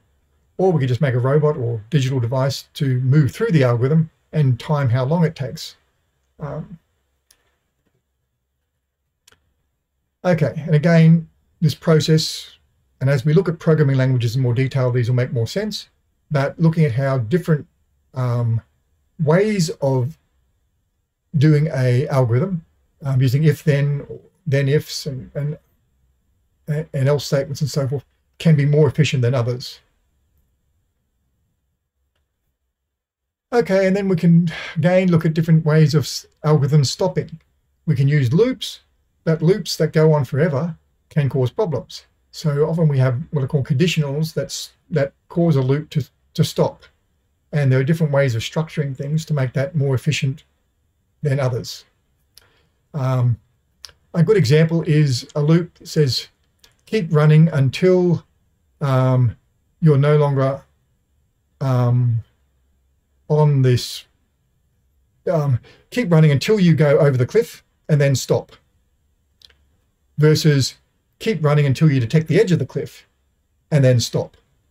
Um, if you've got one, you're the coyote and you run over the cliff and you fall down. If you do the other algorithm, you run along until you reach the edge of the cliff, you stop, and you're the road runner and you stop and you get to look at the coyote falling down over the cliff. Um, so there are various ways of structuring an algorithm that will produce a better solution than others. Uh, designing algorithms to look at data and how we can then say count things and um, make different choices and so forth. Then we generate and design our solutions. Um, again, lots of different ways of coming up with our algorithms, drawing them out on paper, using various digital tools to create flowcharts or um, block-based programming languages to set out that. And this example is coming up with a better system of ordering lunches for a canteen.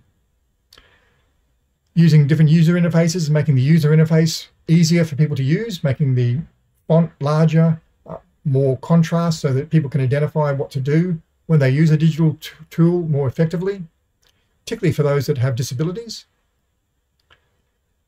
Um, how we can have it so people from different languages can do different things in different ways.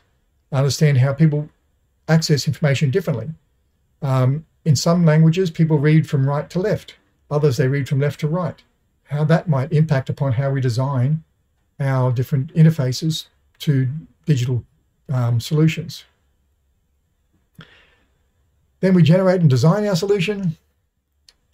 Again, various different approaches for doing this coming up with a whole range of different ways of doing it, and then coming up with um, a decision around which is best in relation to the user story that's been constructed or who is going to use the solution. Um, suggesting various modifications to existing solutions, looking, say, at a range of different computer games or computer game controllers, and suggesting improvements upon those. So students don't necessarily have to make their own solution from scratch. They can look at existing solutions and come up with better modifications to those. Then, of course, they produce and implement their solution, um, writing programs and coming up with databases and creating various um, outcomes. Um, in this case, using uh, drawing various circles, using various iterations to make uh, patterns and coming up with an interactive quiz that allows students to um, learn things more effectively.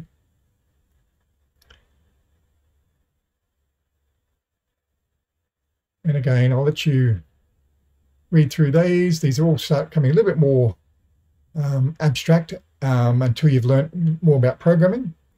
But in this case, it's using um, a computer program to move an object around a computer screen, making a little game. In this case, moving a cat around and changing how it moves and knowing that we can push certain keys that will change its location based upon coordinates. So it'll it'll decrease or increase the coordinate values based upon keystrokes.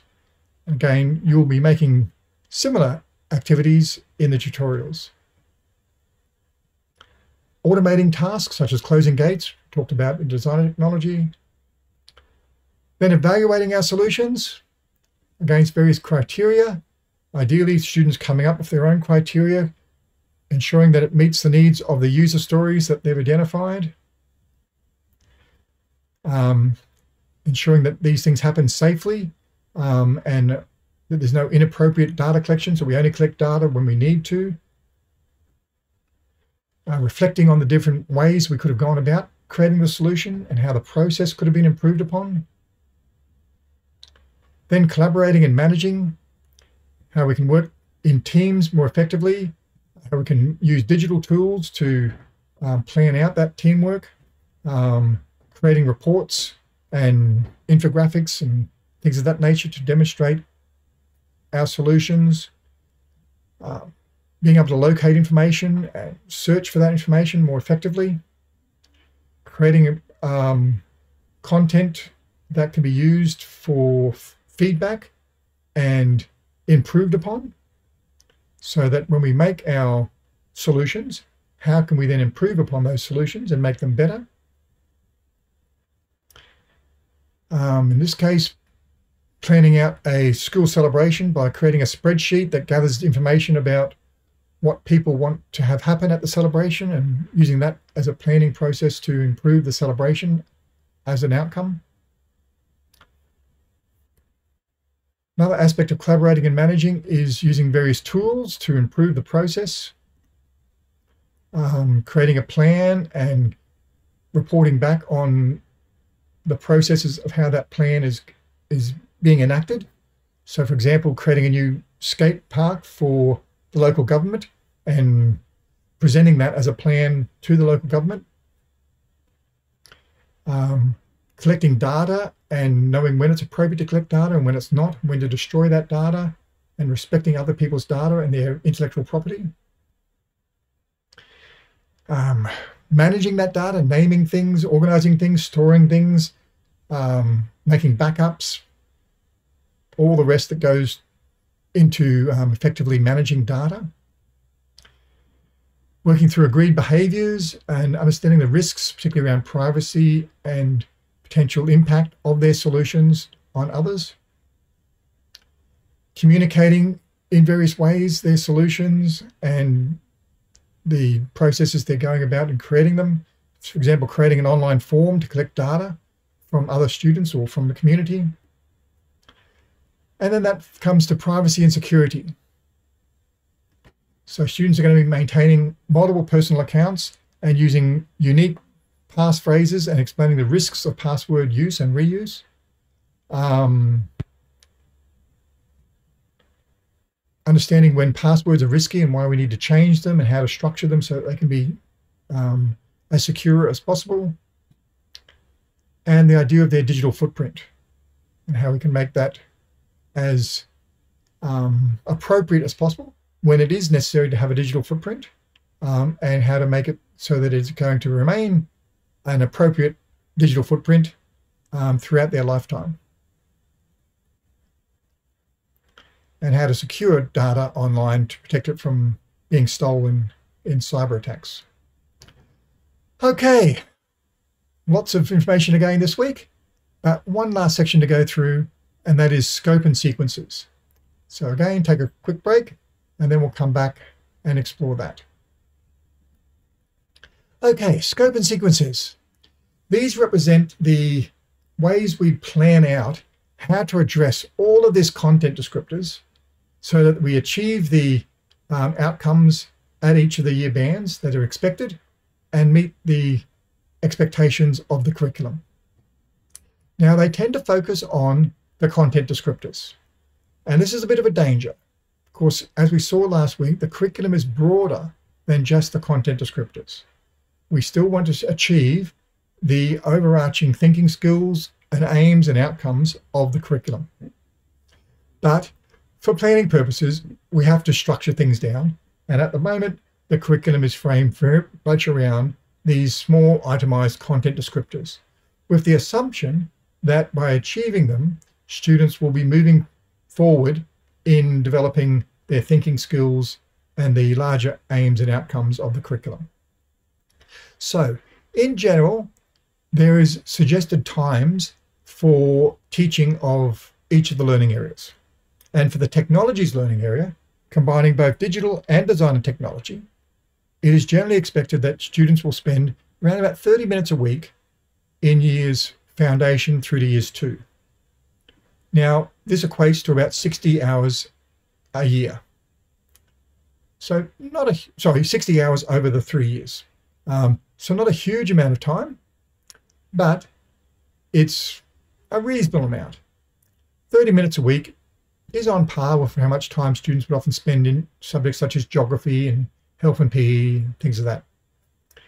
And these number of hours increase as we go up the year levels. In years three and four, generally it's about an hour a week or 80 hours a year.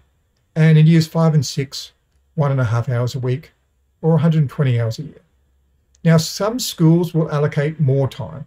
Um, schools have around about 50% of the available time to their discretionary allocation to subject areas. Now, literacy and numeracy to maths and English tend to get the bulk of them. Of course, that's a priority area in schools and has been for a number of years. Um, but some schools decide to have a focus on technologies, particularly often digital technologies, and they will allocate more time in that space. Other schools, particularly in um, disadvantaged areas, might have a very strong vocational focus, and they may allocate more time for design and technology. But in general, roughly about the same amount of time is allocated to both subjects, at least that's certainly the expectation. And within that, within the bands, schools have got their own discretion as to how much time they spend on the different learning areas. For example, they might spend their entire hour, um, say 80 hours, in just years three and not do any technologies in year four. Now, ideally, that wouldn't happen. Um, the curriculum is somewhat designed to be done evenly um, throughout each of the years in each of the bands. Um, but it is certainly possible for schools to structure things in different ways. So within that, they then need to choose from all of those content descriptors and elaborations um, how they're going to address things. They have to address all of the content descriptors for each of the bands within the two-year band, but how they do that and what order is up to them, and how much time they spend on them is up to them, and then we call that a scope and sequence. So it's a planning document that works out in what order various things are going to be addressed and generally describes the activities that students would be doing, somewhat like the elaborations. Now, there are some common approaches to doing this. While each school, in theory, can do whatever they want, um, various se sectors have developed resources to assist. In Queensland, we have what's called the C2C uh, materials, curriculum into the classroom, um, developed for our state school system, and many state schools do utilize this. Now, it was designed when the curriculum was first introduced, when teachers had no real understanding of the curriculum and needed a lot of support to develop their own scope and sequences. So it provided a base level set of activities and scope and sequence to allow all schools and all teachers to be able to address the curriculum. Um, the intention, though, is that uh, as teachers master that, they would then come up with their own unique ways of doing things that suit their particular students, their particular school, the resources they have available, the skill sets of their teachers, the interests of their students, and all the rest that makes uh, school-based decisions so important in developing effective curriculum. But that said, many schools have still stayed with using the C2C material. Of course, it's convenient and it sets a baseline and essentially reduces the amount of work they have to do. Of course, developing your own material does take time. But the C2C material is relatively minimalistic. It's not bad, but it doesn't necessarily meet the unique needs of particular circumstances. But if there's nothing else, it provides a good framework. Now, unfortunately, it's only really available to our state schools. Um, it can be accessed through a set of resources called Scootle, which is a national repository, which I'll uh, talk about later in the course. But um, it's generally fairly restricted. There is another set of resources that has been developed by the federal government and placed in what's called the Digital Technologies Hub, which is a national repository of resources for teaching digital technologies. Um, and we're going to be using that fairly extensively in this course. Of course, it provides lots of really good activities that you can then utilize in coming up with your own activities and lessons. And of course, you have your own digital technologies lesson plan to develop for your assessment. Now, this is an example of the C2C scope and, sorry, the Digital Technologies Hub scope and sequence. Um, it covers F to 10, but for this course, we're only focusing on F to um, 6. And it is for the previous version of the curriculum at the moment, um, version 9, sorry, version 8 or 8.6, whatever it was. Um, in this course, we're focusing on version 9, uh, but not all organizations have caught up with in, um, modifying their mat materials to come up to version 9 standard. Um, but that said, 98% of the curriculum is exactly the same. There's just a few changes in headings and emphasis and different elements. Um, but you can still utilize much of the resources and use them as ideas. By the time you get out into schools, they'll no doubt have updated things and have version 9 scope and sequence and the, the associated learning activities that will go with that. So I encourage you to explore the Digital Technologies Hub. We're going to be using it during this course quite a bit, um, and it will help you if you start your exploration. And a good place to start is with the scope and sequence. It provides a structure for oops, each of the um, contexts and activities, only for digital technologies, unfortunately. But it then goes through and provides you with activities that support each of those. So it's a great way of learning about how to address many of the digital technologies concepts. And as we saw, some of them sound a bit strange. All the stuff about binary and looping and iterations and branching. And as you start looking at the activities, things will become much clearer to you as to how simple the ideas are and how easy it will be to teach and how you get the concepts across to your students. Now that said, schools though can choose their own scope and sequences and many schools have created their own. Um, and you can go onto the internet and do some searches for scope and sequence or just search for digital technologies in primary school, say Queensland, and you'll come up with a whole range of schools that have published on their website their various approaches to teaching um, all of the learning areas. And you can see how they've structured um, teaching the technologies learning area and the various activities that they do in addressing that. And to assist the curriculum documents themselves, provide um, links to what's called the related content. Of course, when you develop scope and sequences, it's normally done as a whole school planning activity. And you do that for all the subject areas. So it becomes much more complex than just the technologies as we've been looking at today. So when you do it for all the learning areas, it gets far more complex. But the big advantage of doing that is you start seeing where things can be taught together.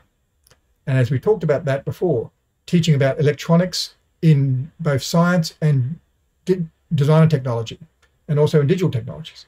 And we call that related content in the curriculum. And the curriculum is now starting to show some strong linkages between those. And we use that when we do these planning activities of developing scope and sequences. Um, and normally they're done at the end of each year, at the very beginning of each year. Um, and it provides a framework then for how the different activities will be done throughout the year to address all of the curriculum areas. Okay, so that's been an exploration of the content of the technologies learning area, both design and technology and digital technologies, where we've looked at the descriptors, um, in terms of the content descriptors, we've looked at the outcomes that are expected at the end of each of the bands, and we've looked at the scope and sequences that we can use to organize all of these content descriptors so they start making some sort of structured sense, um, which will then lead us into the activities that we use to actually teach these content descriptors. And we'll be starting to explore those um, next week when we start looking at pedagogy. But this week, we now got some tutorial activities for you to do to help understand these content descriptors in a bit more detail. Now, the first is a digital technologies activity. And again, I'd like you to have this done before your tutorial so that you can discuss it in the tutorial. Now, you're going to do what's called an hour of code activity. Now, it won't take you anywhere near an hour. Um, most of them can be done in probably 10 to 20 minutes. Um, but there are a series of little activities that you work through that will teach you some basic concepts in programming. So you're going to learn computer programming. At most, it'll take you an hour. Um, and it certainly probably wouldn't take anywhere near that amount of time. And it's often the first step we use in similar block-based programming activities with our students. Now, on the Hour of Code website, um, which is hourofcode.com, you'll see a, a range of different contexts that you can do your Hour of Code in. If you're interested in Star Wars, there's a Star Wars Hour of Code um, set of activities. If you're interested in the movie Frozen, there's one for that. And they're all themed around various contexts. If you're interested in the Angry Birds computer game, there's a set of ones for that.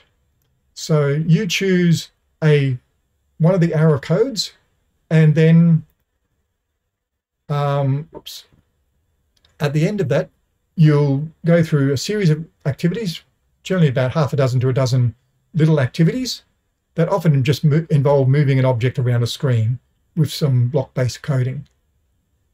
And at the end of that, for the, and the final activity, take a screenshot of that and then share that to both Learning at Griffith and to Microsoft Teams as evidence of you having completed that particular activity. And then in tutorials, you'll discuss that with your tutors.